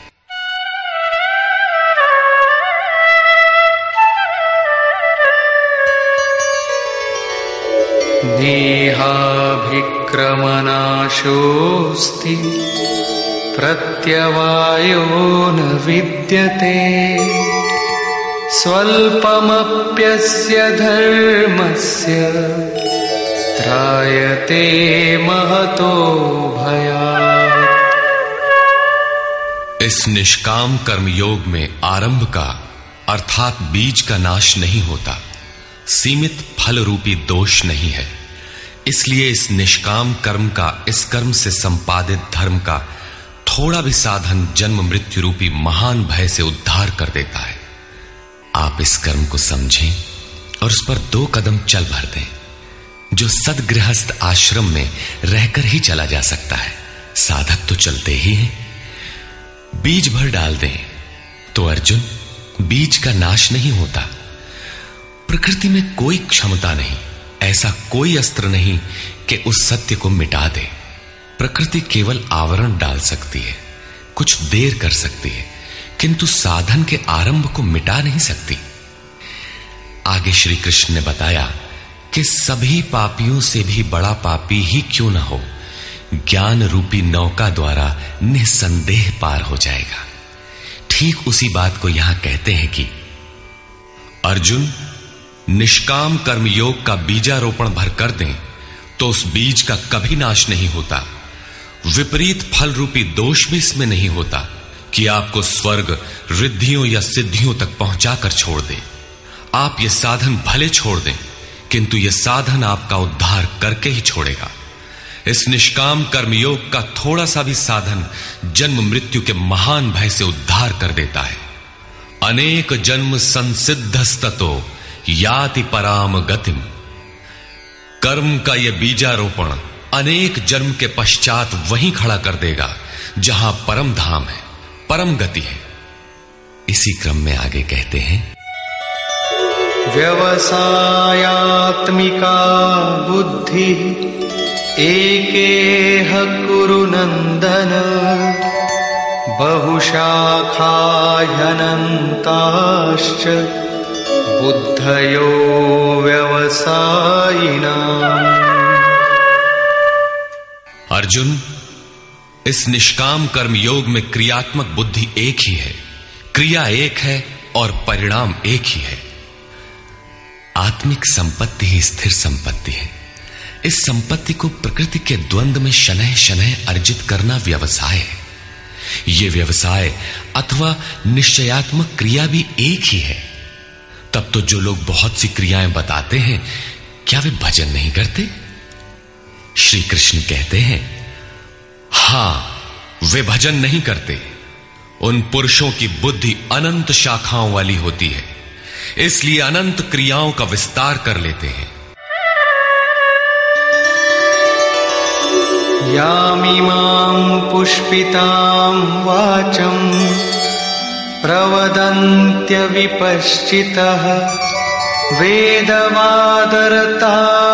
पार्थ नान्यदस्तीति वादिनः कामात्मानः स्वर्गपरा जन्मकर्मफलप्रदाम् क्रियाविशेषबहुलाम् भोगैश्वर्यगतिम् प्रति। पार्थ, वे कामात्मान, कामनाओं से युक्त, वेदवादरता, वेद के वाक्यों में अनुरक्त, स्वर्ग पराह स्वर्ग को ही परम लक्ष्य मानते हैं कि इसके आगे कुछ है ही नहीं। ऐसा कहने वाले अविवेकी जन, जन्म मृत्यु रूपी फल देने वाली, भोग और ऐश्वर्य की प्राप्ति के लिए बहुत सी क्रियाओं का विस्तार कर लेते हैं और दिखावटी शोभा युक्त वाणी में व्यक्त भी करते हैं। अर्थात अविवेकियों की बुद्धि अनंत भेदों वाली होती है। वे फल वाले वाक्य में ही अनुरक्त रहते हैं। वेद के वाक्यों को ही प्रमाण मानते हैं, स्वर्ग को ही श्रेष्ठ मानते हैं। उनकी बुद्धि बहुत सी भेदों वाली है, इसलिए अनंत क्रियाओं की रचना कर लेते हैं। वे नाम तो परम तत्व परमात्मा का ही लेते हैं, किंतु उसकी ओट में अनंत क्रियाओं का विस्तार कर लेते हैं। तो क्या अनंत क्रियाएँ कर्म नहीं है? श्री कृष्ण कहते हैं, नहीं, अनंत क्रियाएँ कर्म नहीं है। तो वो एक निश्चित क्रिया है क्या? श्री कृष्ण अभी ये नहीं बताते। अभी तो केवल इतना कहते हैं कि अविवेकियों की बुद्धि अनंत शाखाओं वाली होती है। इसलिए वे अनंत क्रियाओं का विस्तार कर लेते हैं। वे केवल विस्तार ही नहीं करते, अपितु आलंकारिक शैली में उसे व्यक्त भी करते हैं। उसका प्रभाव क्या होता है? भोगैश्वर्यप्रसक्तानाम् तया परितचेतसाम् व्यवसायात्मिका बुद्धि समाधौ न विधीयते। उनकी वाणी की छाप जिन जिन के चित्त पर पड़ जाती है अर्जुन, उनकी भी बुद्धि नष्ट हो जाती है, न कि वे कुछ पाते हैं। उस वाणी द्वारा हरे हुए चित्त वालों के और भोग ऐश्वर्य में आसक्ति वाले पुरुषों के अंतकरण में क्रियात्मक बुद्धि नहीं रह जाती। इष्ट में समाधिस्थ करने वाली निश्चयात्मक क्रिया उनमें नहीं होती। ऐसे अविवेकियों की वाणी सुनता कौन है? भोग और ऐश्वर्य में आसक्ति वाले ही सुनते हैं। अधिकारी नहीं सुनता। ऐसे पुरुषों में सम और आदि तत्व में प्रवेश दिलाने वाली निश्चयात्मक क्रिया से संयुक्त बुद्धि नहीं होती। प्रश्न उठता है कि वेद वादरता, जो वेद के वचनों में अनुरक्त हैं, क्या वे भी भूल करते हैं? इस पर श्री कृष्ण कहते हैं। त्रैगुण्य विषया वेदा। निस्त्रैगुण्यो भवार्जुन। निर्द्वन्द्वो नित्यसत्त्वस्थो। निर्योगक्षेम आत्मवान्। अर्जुन, त्रैगुण्य विषया वेदा। वेद तीनों गुणों तक ही प्रकाश करते हैं। इसके आगे का हाल वे नहीं जानते। इसलिए निस्त्रय गुण्यो भव अर्जुन। अर्जुन, तू तीनों गुणों से ऊपर उठ, अर्थात वेदों के कार्य क्षेत्र से आगे बढ़। कैसे बढ़ा जाए? इस पर श्री कृष्ण कहते हैं, निर्द्वंद्व, सुख दुख के द्वंद्वों से रहित, नित्य सत्य वस्तु में स्थित और योग क्षेम को न चाहता हुआ आत्मपरायण हो। इस प्रकार ऊपर उठ। प्रश्न उठता है कि हम ही उठें या कोई वेदों से ऊपर उठा भी है? श्री कृष्ण बताते हैं कि आगे जो भी उठता है, ब्रह्म को जानता है, और जो ब्रह्म को जानता है, वो विप्र है। यावानर्थ उदपाने सर्वतः सम्प्लुतोदके तावान् सर्वेषु वेदेषु ब्राह्मणस्य विजानतः। सब ओर से परिपूर्ण जलाशय को प्राप्त होने पर मनुष्य का छोटे जलाशय से जितना प्रयोजन रहता है, अच्छी प्रकार ब्रह्म को जानने वाले ब्राह्मण का वेदों से उतना ही प्रयोजन रहता है। तात्पर्य यह है कि जो वेदों से ऊपर उठता है, वो ब्रह्म को जानता है। वही ब्राह्मण है। अर्थात तू वेदों से ऊपर उठ, ब्राह्मण बन। अर्जुन क्षत्रिय था। श्री कृष्ण कहते हैं कि ब्राह्मण बन। ब्राह्मण, क्षत्रिय इत्यादि वर्ण स्वभाव की क्षमताओं के नाम है। ये कर्म प्रधान है। न कि जन्म से निर्धारित होने वाली कोई रूढ़ी, जिसे गंगा की धारा प्राप्त है, उसे क्षुद्र जलाशय से क्या प्रयोजन? कोई उसमें शौच लेता है तो कोई पशुओं को नहला देता है। इसके आगे कोई उपयोग नहीं है। इसी प्रकार ब्रह्म को साक्षात जानने वाले उस विप्र महापुरुष का, उस ब्राह्मण का वेदों से उतना ही प्रयोजन रह जाता है। प्रयोजन रहता अवश्य है। वेद रहते हैं, क्योंकि पीछे वालों के लिए उनका उपयोग है। वहीं से चर्चा आरंभ होगी। इसके उपरांत योगेश्वर श्री कृष्ण कर्म करते समय की जाने वाली सावधानियों का प्रतिपादन करते हैं। कर्मण्येवाधिकारस्ते मा फलेषु कदाचन। मा कर्मफलहेतुर्भुर्मा ते संगोस्त्वकर्मणि कर्म करने में ही तेरा अधिकार हो। फल में कभी नहीं। ऐसा समझ के फल हैं ही नहीं। फल की वासना वाला भी मत हो और कर्म करने में तेरी अश्रद्धा भी ना हो। अब तक योगेश्वर श्री कृष्ण ने उनतालीसवें श्लोक में पहली बार कर्म का नाम लिया। किंतु यह नहीं बताया कि वो कर्म है क्या और उसे करें कैसे। उस कर्म की विशेषताओं पर प्रकाश डाला कि, अर्जुन इस कर्म द्वारा तू कर्मों के बंधन से अच्छी प्रकार छूट जाएगा। अर्जुन, इसमें आरंभ का अर्थात बीज का नाश नहीं है। आरंभ कर दे तो प्रकृति के पास कोई उपाय नहीं कि उसे नष्ट कर दे। अर्जुन, इसमें सीमित फल रूपी दोष भी नहीं है कि स्वर्ग रिद्धियों सिद्धियों में फंसाकर खड़ा कर दे। अर्जुन, इस कर्म का थोड़ा भी साधन जन्म मरण के भय से उद्धार कराने वाला होता है। किंतु अभी तक उन्होंने ये नहीं बताया कि वो कर्म है क्या, किया कैसे जाए। इसी अध्याय के इकतालीसवें श्लोक में उन्होंने बताया, अर्जुन, इसमें निश्चयात्मक बुद्धि एक ही है, क्रिया एक ही है। तो क्या बहुत सी क्रिया वाले भजन नहीं करते? श्री कृष्ण कहते हैं, वे कर्म नहीं करते। इसका कारण बताते हुए कहते हैं कि अविवेकियों की बुद्धि अनंत शाखा वाली होती है। इसलिए वे अनंत क्रियाओं का विस्तार कर लेते हैं। वे दिखावटी शोभा युक्त वाणी में इन क्रियाओं को व्यक्त भी करते हैं। उनकी वाणी की छाप जिनके चित्त पर पड़ जाती है, उनकी भी बुद्धि नष्ट हो जाती है। अतः निश्चयात्मक क्रिया एक ही है। लेकिन यह नहीं बताया कि वो क्रिया कौन सी है। सैतालीसवें श्लोक में उन्होंने कहा अर्जुन, कर्म करने में ही तेरा अधिकार है, फल में कभी नहीं। फल की वासना वाला भी मत हो और कर्म करने में तेरी अश्रद्धा ना हो। अर्थात निरंतर करने के लिए उसी में लीन होकर करें। किंतु यह नहीं बताया कि वो कर्म है क्या।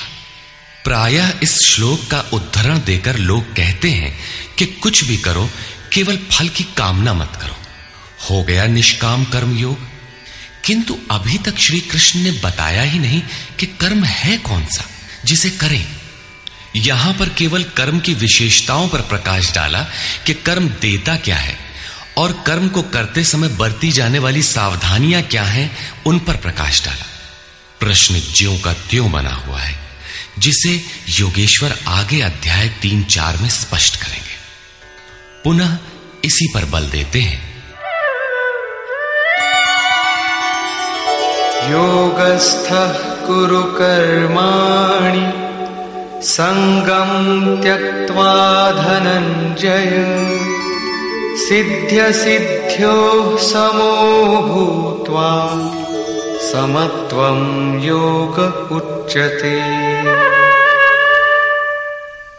धनंजय आसक्ति और संग दोष को त्याग कर, सिद्धि और असिद्धि में समान भाव रखकर योग में स्थित होकर कर्म कर।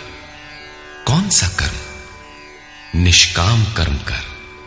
समत्वम योग उच्यते। ये समत्व भाव ही योग कहलाता है। विषमता जिसमें ना हो, ऐसा भाव समत्व कहलाता है। रिद्धियाँ सिद्धियाँ विषम बनाती हैं। आसक्ति हमें विषम बनाती है। फल की इच्छा विषमता पैदा करती है। इसीलिए फल की वासना न हो फिर भी कर्म करने में अश्रद्धा ना हो। देखी सुनी सभी वस्तुओं में आसक्ति का त्याग करके, प्राप्ति और अप्राप्ति के विषय में न सोचकर, केवल योग में स्थित रहते हुए कर्म कर। योग से चित्त चलायमान ना हो। योग एक पराकाष्ठा की स्थिति है और एक प्रारंभ की स्थिति भी होती है। प्रारंभ में भी हमारी दृष्टि लक्ष्य पर ही रहनी चाहिए। अतः योग पर दृष्टि रखते हुए कर्म का आचरण करना चाहिए। समत्व भाव, अर्थात सिद्धि और असिद्धि में समभाव ही योग कहलाता है। जिसको सिद्धि और असिद्धि विचलित नहीं कर पाती, विषमता जिसमें पैदा नहीं होती, ऐसा भाव होने के कारण यह समत्व योग कहलाता है। ये इष्ट से समत्व दिलाता है। इसीलिए इसे समत्व योग कहते हैं। कामनाओं का सर्वथा त्याग है, इसलिए इसे निष्काम कर्म योग कहते हैं। कर्म करना है इसलिए इसे कर्म योग कहते हैं। परमात्मा से मेल कराता है, इसलिए इसका नाम योग अर्थात मेल है। इसमें बौद्धिक स्तर पर ध्यान रखना पड़ता है कि सिद्धि और असिद्धि में समभाव रहे, आसक्ति न हो, फल की वासना न आने पाए। इसलिए यही निष्काम कर्म योग बुद्धि योग भी कहा जाता है। दूरेण ह्यवरं कर्म बुद्धि बुद्धियोगाद्धनञ्जय। बुद्धौ शरणमन्विच्छ, कृपणाः फलहेतवः। धनंजय अवरम कर्म, निकृष्ट कर्म, वासना वाले कर्म बुद्धि योग से अत्यंत दूर है। फल की कामना वाले कृपण हैं।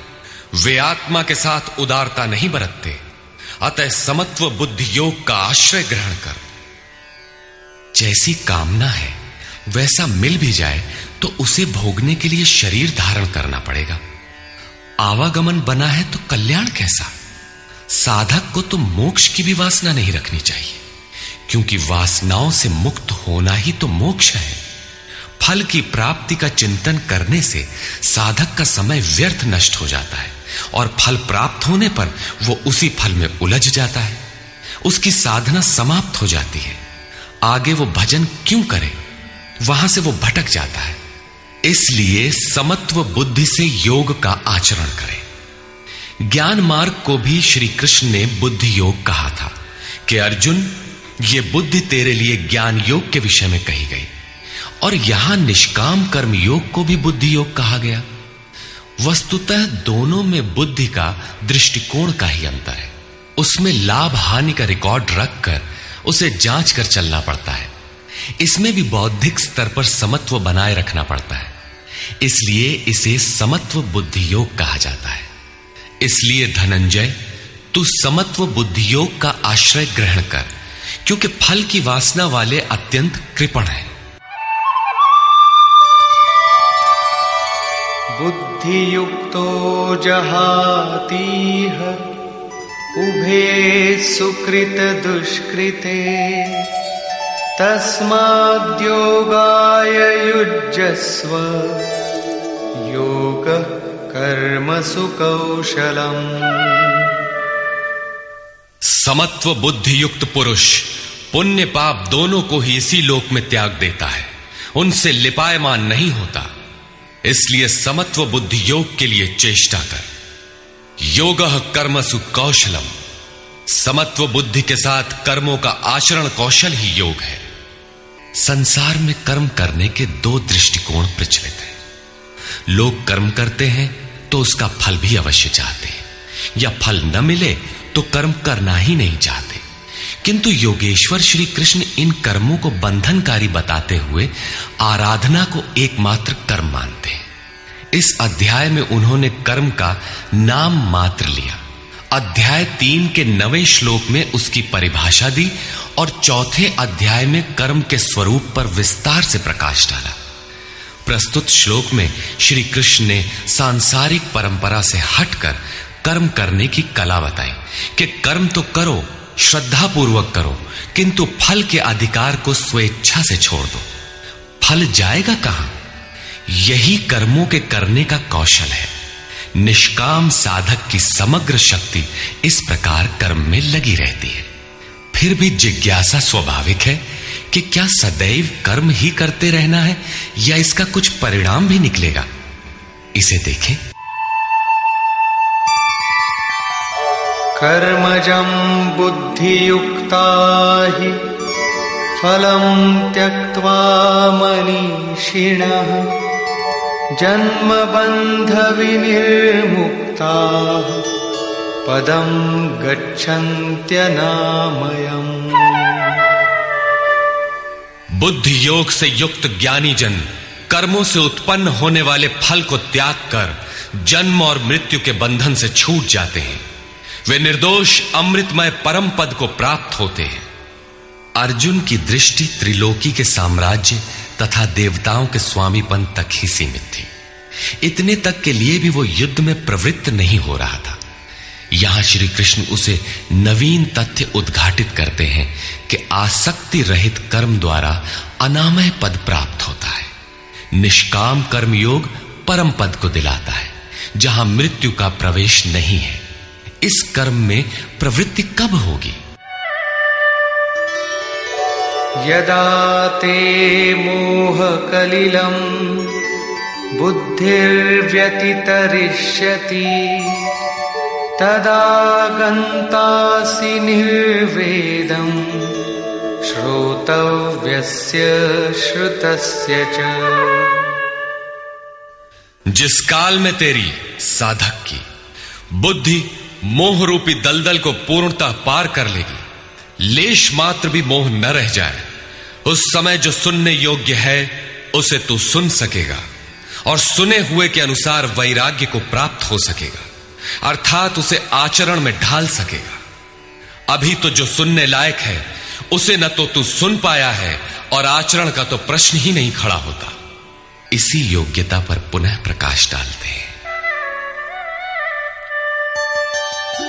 श्रुतिविप्रतिपन्ना ते यदा स्थास्यति निश्चला, समाधावचला बुद्धिः, तदा योगमवाप्स्यसि।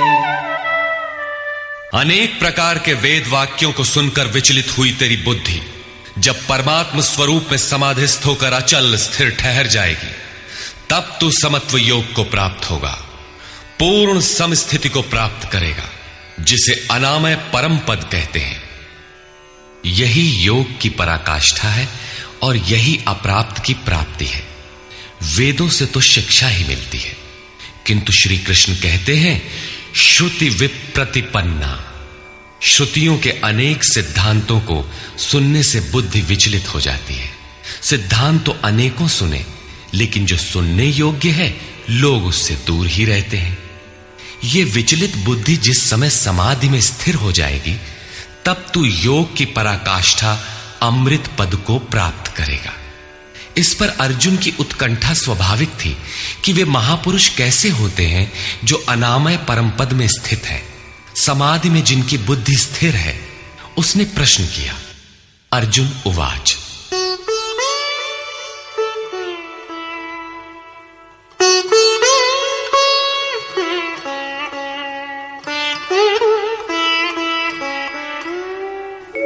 स्थितप्रज्ञस्य का भाषा? समाधिस्थस्य केशव? स्थितधिः किं प्रभाषेत? किमासीत व्रजेत किम्?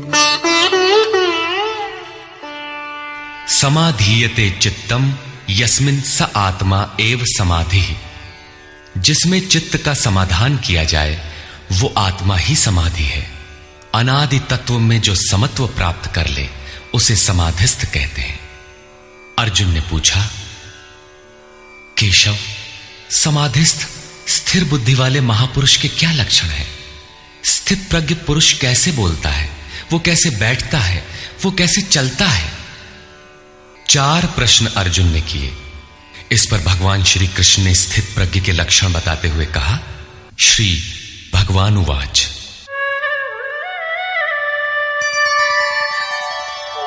प्रजहाति यदा कामान् सर्वान् पार्थमनोगतान् आत्मन्येवात्मना तुष्टः स्थितप्रज्ञस्तदोच्यते। पार्थ जब मनुष्य मन में स्थित संपूर्ण कामनाओं को त्याग देता है तब वो आत्मा से ही आत्मा में संतुष्ट हुआ स्थिर बुद्धि वाला कहा जाता है। कामनाओं के त्याग पर ही आत्मा का दिग्दर्शन होता है। ऐसा आत्मा राम आत्मतृप्त महापुरुष ही स्थित प्रज्ञ है।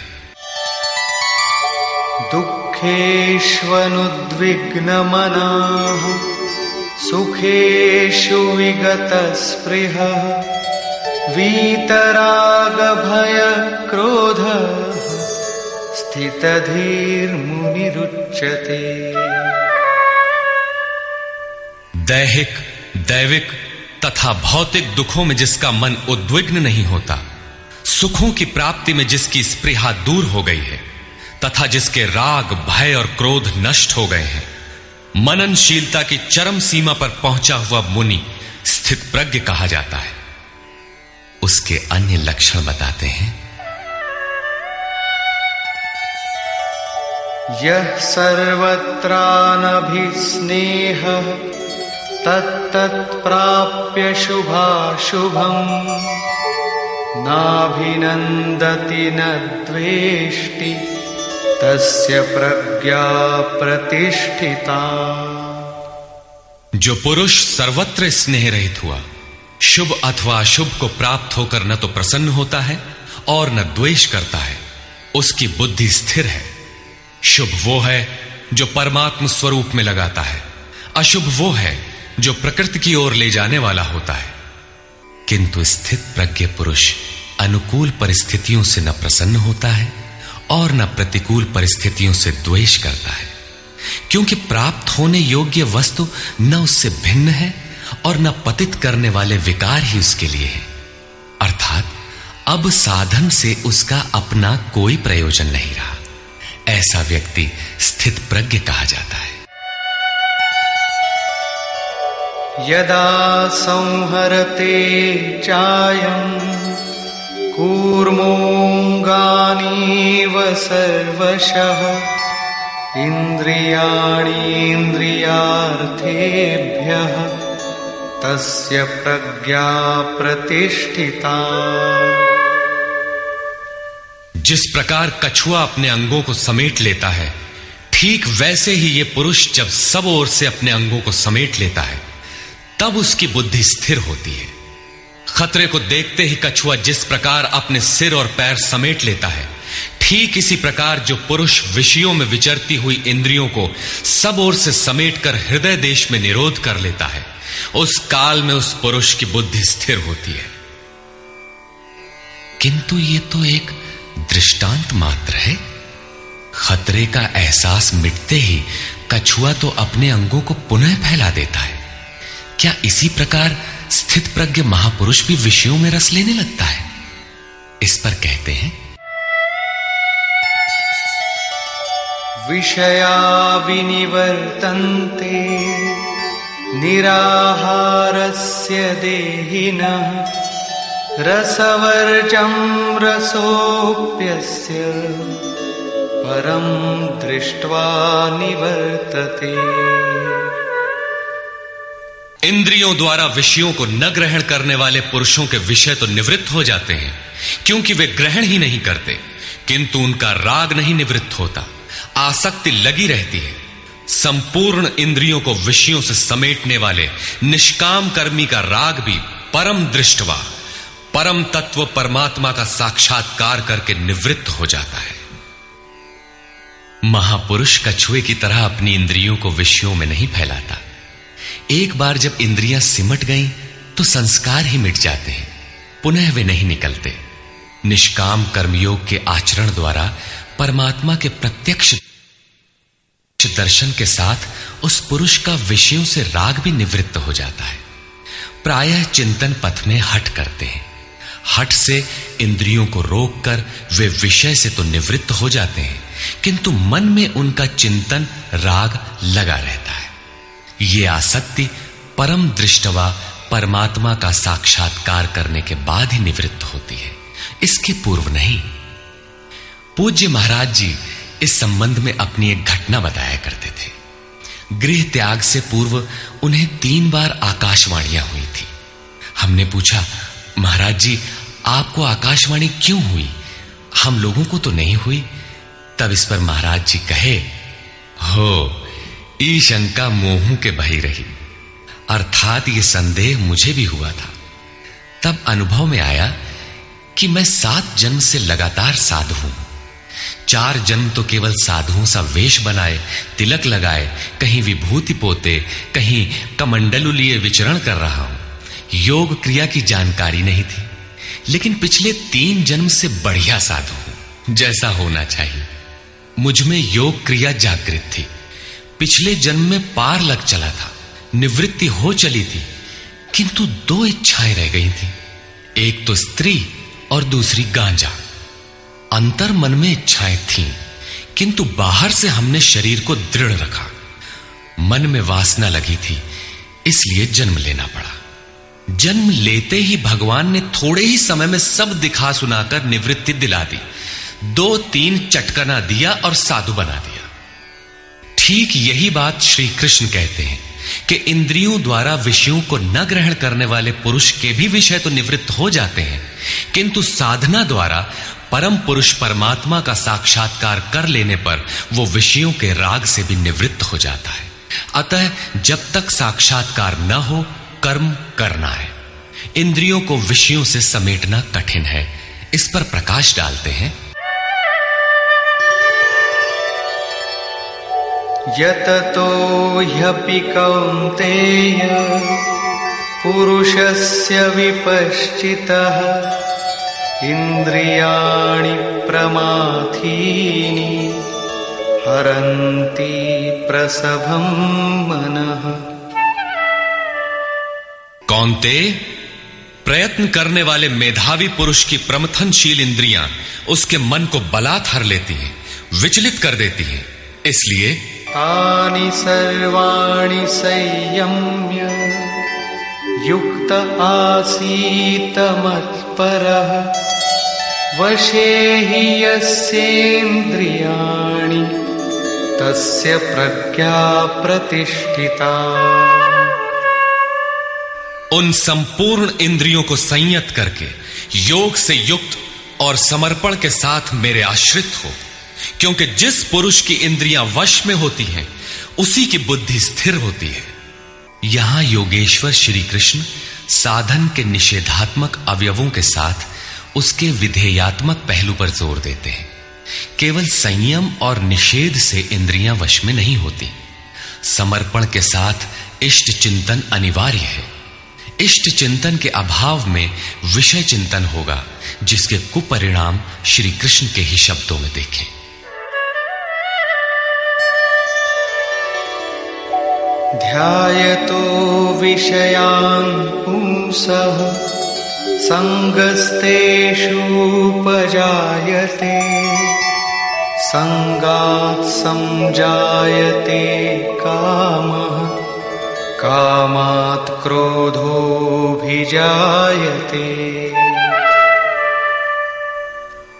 विषयों का चिंतन करने वाले पुरुष की उन विषयों में आसक्ति हो जाती है। आसक्ति से कामना उत्पन्न होती है। कामना पूर्ति में व्यवधान आने से क्रोध उत्पन्न होता है। क्रोध किसे जन्म देता है? क्रोधाद् भवति सम्मोहः।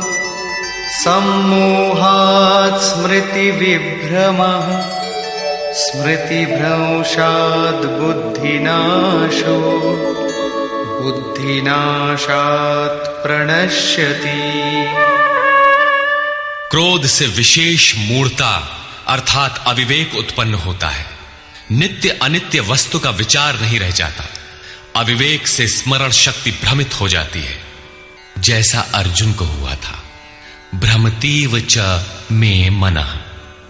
गीता के समापन पर उसने कहा, नष्टो मोह स्मृतिर लब्धा क्या करें, क्या न करें, इसका निर्णय नहीं हो पाता। स्मृति भ्रमित होने से योग परायण बुद्धि नष्ट हो जाती है और बुद्धि नाश होने से ये पुरुष अपने श्रेय साधन से च्युत हो जाता है। यहाँ श्री कृष्ण ने बल दिया है कि विषयों का चिंतन नहीं करना चाहिए। साधक को नाम, रूप, लीला और धाम में ही कहीं लगे रहना चाहिए। भजन में ढील देने पर मन विषयों में जाएगा। विषयों के चिंतन से आसक्ति हो जाती है। आसक्ति से उस विषय की कामना साधक के अंतर मन में होने लगती है। कामना की पूर्ति में व्यवधान होने पर क्रोध क्रोध से अविवेक अविवेक से स्मृति भ्रम और स्मृति भ्रम से बुद्धि नष्ट हो जाती है। निष्काम कर्म योग को बुद्धि योग कहा जाता है। क्योंकि बुद्धि स्तर पर इसमें विचार रखना चाहिए कि कामनाएँ न आने पाए, फल है ही नहीं। कामना आने से यह बुद्धि योग नष्ट हो जाता है। साधन करिय विचारहीन, मन शुद्ध होए नहीं तैसे। विचार आवश्यक है। विचार शून्य पुरुष श्रेय साधन से नीचे गिर जाता है। साधन क्रम टूट जाता है। सर्वथा नष्ट नहीं होता। भोग के पश्चात साधन वहीं से पुनः आरंभ होता है, जहाँ अवरुद्ध हुआ था। ये तो विषयाभिमुख साधक की गति है। स्वाधीन अंतकरण वाला साधक किस गति को प्राप्त होता है? इस पर श्री कृष्ण कहते हैं। रागद्वेष वियुक्तैस्तु विषयानीन्द्रियैश्चरन् आत्मवश्यैर्विधेयात्मा प्रसादमधिगच्छति। आत्मा की विधि को प्राप्त प्रत्यक्षदर्शी महापुरुष, राग द्वेष से रहित, वश में की हुई अपनी इंद्रियों द्वारा विषयान चरण, विषयों में विचरता हुआ भी प्रसाद मधिगच्छति। अंतकरण की निर्मलता को प्राप्त होता है। वो अपनी भाव दृष्टि में रहता है। महापुरुष के लिए विधि निषेध नहीं रह जाते। उसके लिए कहीं अशुभ नहीं रहता। जिससे वो बचाव करे तथा उसके लिए कोई शुभ शेष नहीं रह जाता जिसकी वो कामना करे।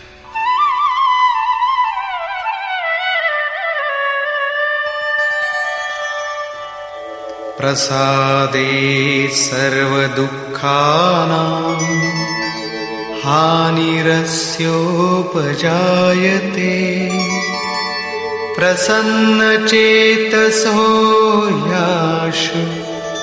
बुद्धिः पर्यवतिष्ठते। भगवान के पूर्ण कृपा प्रसाद भगवत्ता से संयुक्त होने पर इसके संपूर्ण दुखों का अभाव हो जाता है। दुखालयम अशाश्वतम संसार का अभाव हो जाता है और उस प्रसन्न चित्त वाले पुरुष की बुद्धि शीघ्र ही अच्छी प्रकार स्थिर हो जाती है।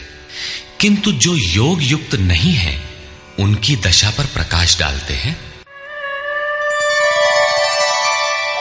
नास्ति बुद्धिरयुक्तस्य न चायुक्तस्य भावना न चाभावयतः शान्तिः अशान्तस्य कुतः सुखम्। योग साधन रहित पुरुष के अंतकरण में निष्काम कर्मयुक्त बुद्धि नहीं होती। उस अयुक्त के अंतकरण में भाव भी नहीं होता। भावना रहित पुरुष को शांति कहा और अशांत पुरुष को सुख कहा? योग क्रिया करने से कुछ दिखाई पड़ने पर ही भाव बनता है।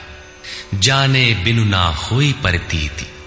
भावना बिना शांति नहीं मिलती। और शांति रहित पुरुष को सुख अर्थात शाश्वत सनातन की प्राप्ति नहीं होती। इन्द्रियाणां हि चरता यन्मनोनुविधीयते तदस्य हरति प्रज्ञां वायुर्नावमिवाम्भसी।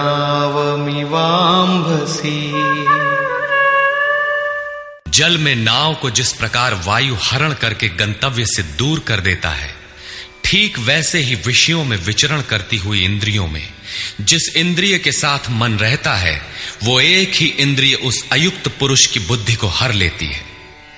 अतः योग का आचरण अनिवार्य है। क्रियात्मक आचरण पर श्री कृष्ण पुनः बल देते हैं।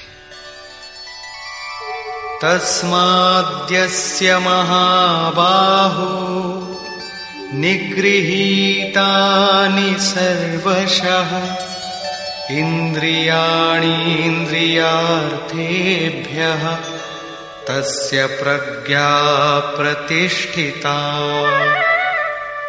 इससे हे महाबाहो, जिस पुरुष की इंद्रियाँ इंद्रियों के विषयों से सर्वथा वश में की हुई होती हैं, उसकी बुद्धि स्थिर होती है।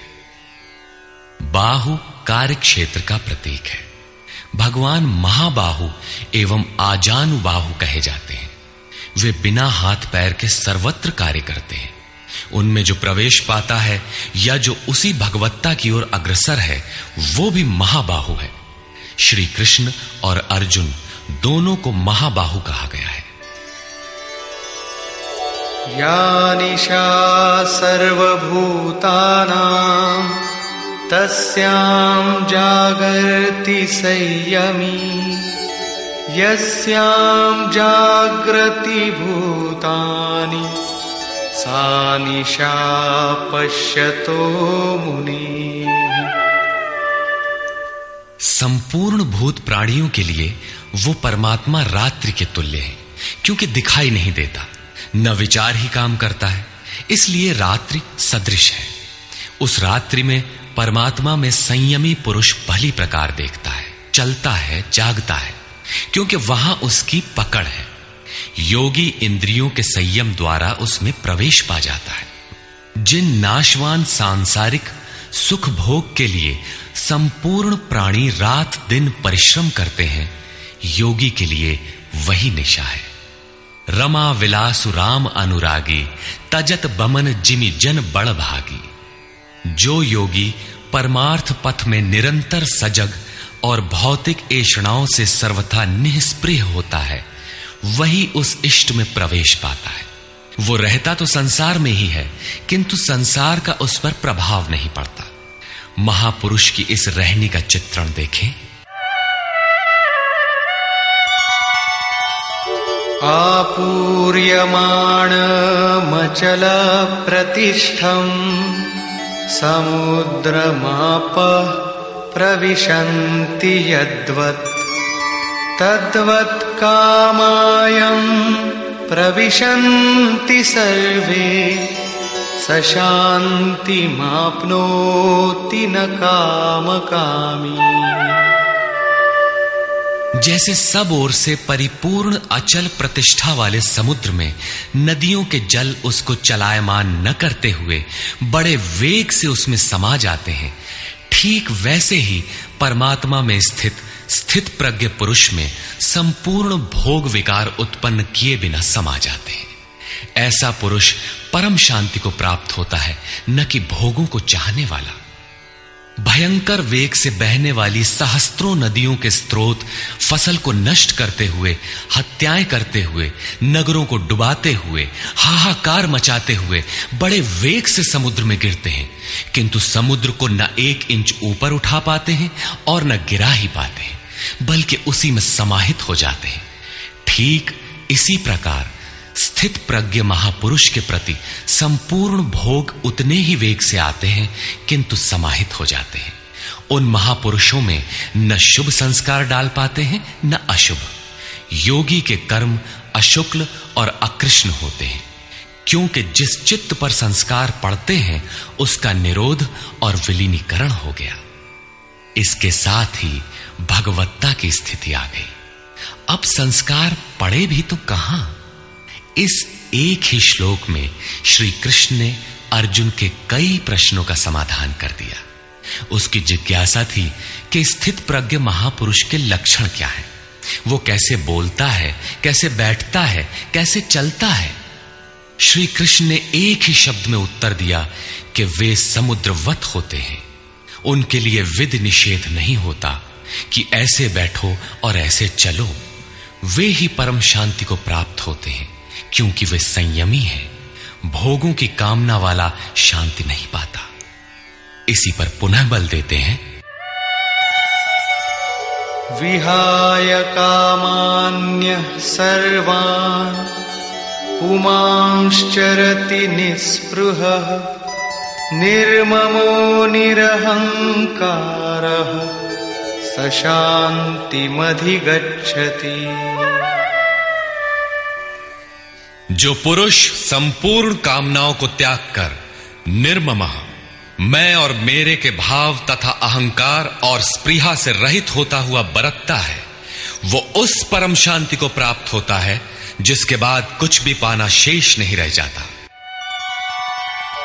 एषा ब्राह्मी स्थिति पार्थ, नैनां प्राप्य विमुह्यति। स्थित्वा स्यामन्तकालेऽपि ब्रह्मनिर्वाणमृच्छति।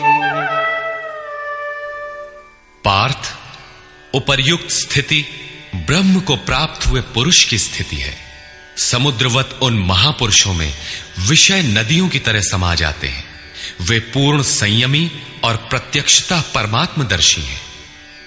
केवल अहम ब्रह्मास्मि पढ़ लेने या रट लेने से स्थिति नहीं मिलती।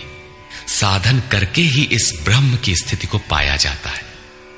ऐसा महापुरुष ब्रह्म निष्ठा में स्थित रहते हुए शरीर के अंत काल में भी ब्रह्मानंद को ही प्राप्त होता है। निष्कर्ष। प्रायः कुछ लोग कहते हैं कि दूसरे अध्याय में गीता पूर्ण हो गई। किंतु यदि केवल कर्म का नाम मात्र लेने से कर्म पूरा हो जाता हो, तब तो गीता का समापन माना जा सकता है। इस अध्याय में योगेश्वर श्री कृष्ण ने यही बताया कि, अर्जुन, निष्काम कर्म योग के विषय में सुन, जिसे जानकर तू संसार बंधन से छूट जाएगा। कर्म करने में तेरा अधिकार है, फल में कभी नहीं। कर्म करने में तेरी अश्रद्धा भी ना हो। निरंतर करने के लिए तत्पर हो जा।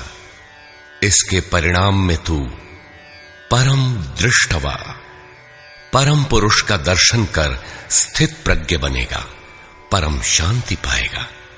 किंतु यह नहीं बताया कि कर्म है क्या। यह सांख्य योग नामक अध्याय नहीं है। यह नाम शास्त्रकार का नहीं, अपितु टीकाकारों की देन है। वे अपनी बुद्धि के अनुसार ही ग्रहण करते हैं तो आश्चर्य क्या है? इस अध्याय में कर्म की गरिमा, उसे करने में बरती जाने वाली सावधानी और स्थित प्रज्ञ के लक्षण बताकर श्री कृष्ण ने अर्जुन के मन में कर्म के प्रति उत्कंठा जागृत की है। उसे कुछ प्रश्न दिए हैं। आत्मा शाश्वत है, सनातन है, उसे जानकर तत्वदर्शी बनो। उसकी प्राप्ति के दो साधन हैं। ज्ञान योग और निष्काम कर्म योग। अपनी शक्ति को समझकर, हानि लाभ का स्वयं निर्णय लेकर, कर्म में प्रवृत्त होना ज्ञान मार्ग है। तथा इष्ट पर निर्भर होकर, समर्पण के साथ उसी कर्म में प्रवृत्त होना निष्काम कर्म मार्ग या भक्ति मार्ग है। गोस्वामी तुलसीदास ने दोनों का चित्रण इस प्रकार किया है। मोरे प्रौढ़ तनय सम ज्ञानी बालक सुत समदास अमानी। जनहि मोर बल निज बल ताही, दुह कह काम क्रोध रिपु आही। मेरे दो प्रकार के भजने वाले हैं। एक ज्ञान मार्गी, दूसरा भक्ति मार्गी। निष्काम कर्म मार्गी या भक्ति मार्गी शरणागत होकर मेरा आश्रय लेकर चलता है। ज्ञान योगी अपनी शक्ति सामने रखकर, अपनी हानि लाभ का विचार कर, अपने भरोसे चलता है, जबकि दोनों के शत्रु एक ही हैं। ज्ञान मार्गी को काम, क्रोधादि शत्रुओं पर विजय पाना है, और निष्काम कर्म योगी को भी इन्हीं से युद्ध करना है। कामनाओं का त्याग दोनों करते हैं, और दोनों मार्गों में किया जाने वाला कर्म भी एक ही है। इस कर्म के परिणाम में परम शांति को प्राप्त हो जाओगे। लेकिन यह नहीं बताया कि कर्म है क्या। अब आपके भी समक्ष कर्म एक प्रश्न है। अर्जुन के मन में भी कर्म के प्रति जिज्ञासा हुई। तीसरे अध्याय के आरंभ में ही उसने कर्म विषयक प्रश्न प्रस्तुत किया। अतः, ओम तत्सदिति श्रीमद भगवद गीता सुपनिषत्सु ब्रह्म विद्यायाम योग शास्त्रे श्री कृष्ण अर्जुन संवादे कर्म जिज्ञासा नाम द्वितीयो अध्याय। इस प्रकार स्वामी अड़गड़ानंद कृत श्रीमद भगवद गीता के भाष्य यथार्थ गीता का दूसरा अध्याय पूर्ण होता है।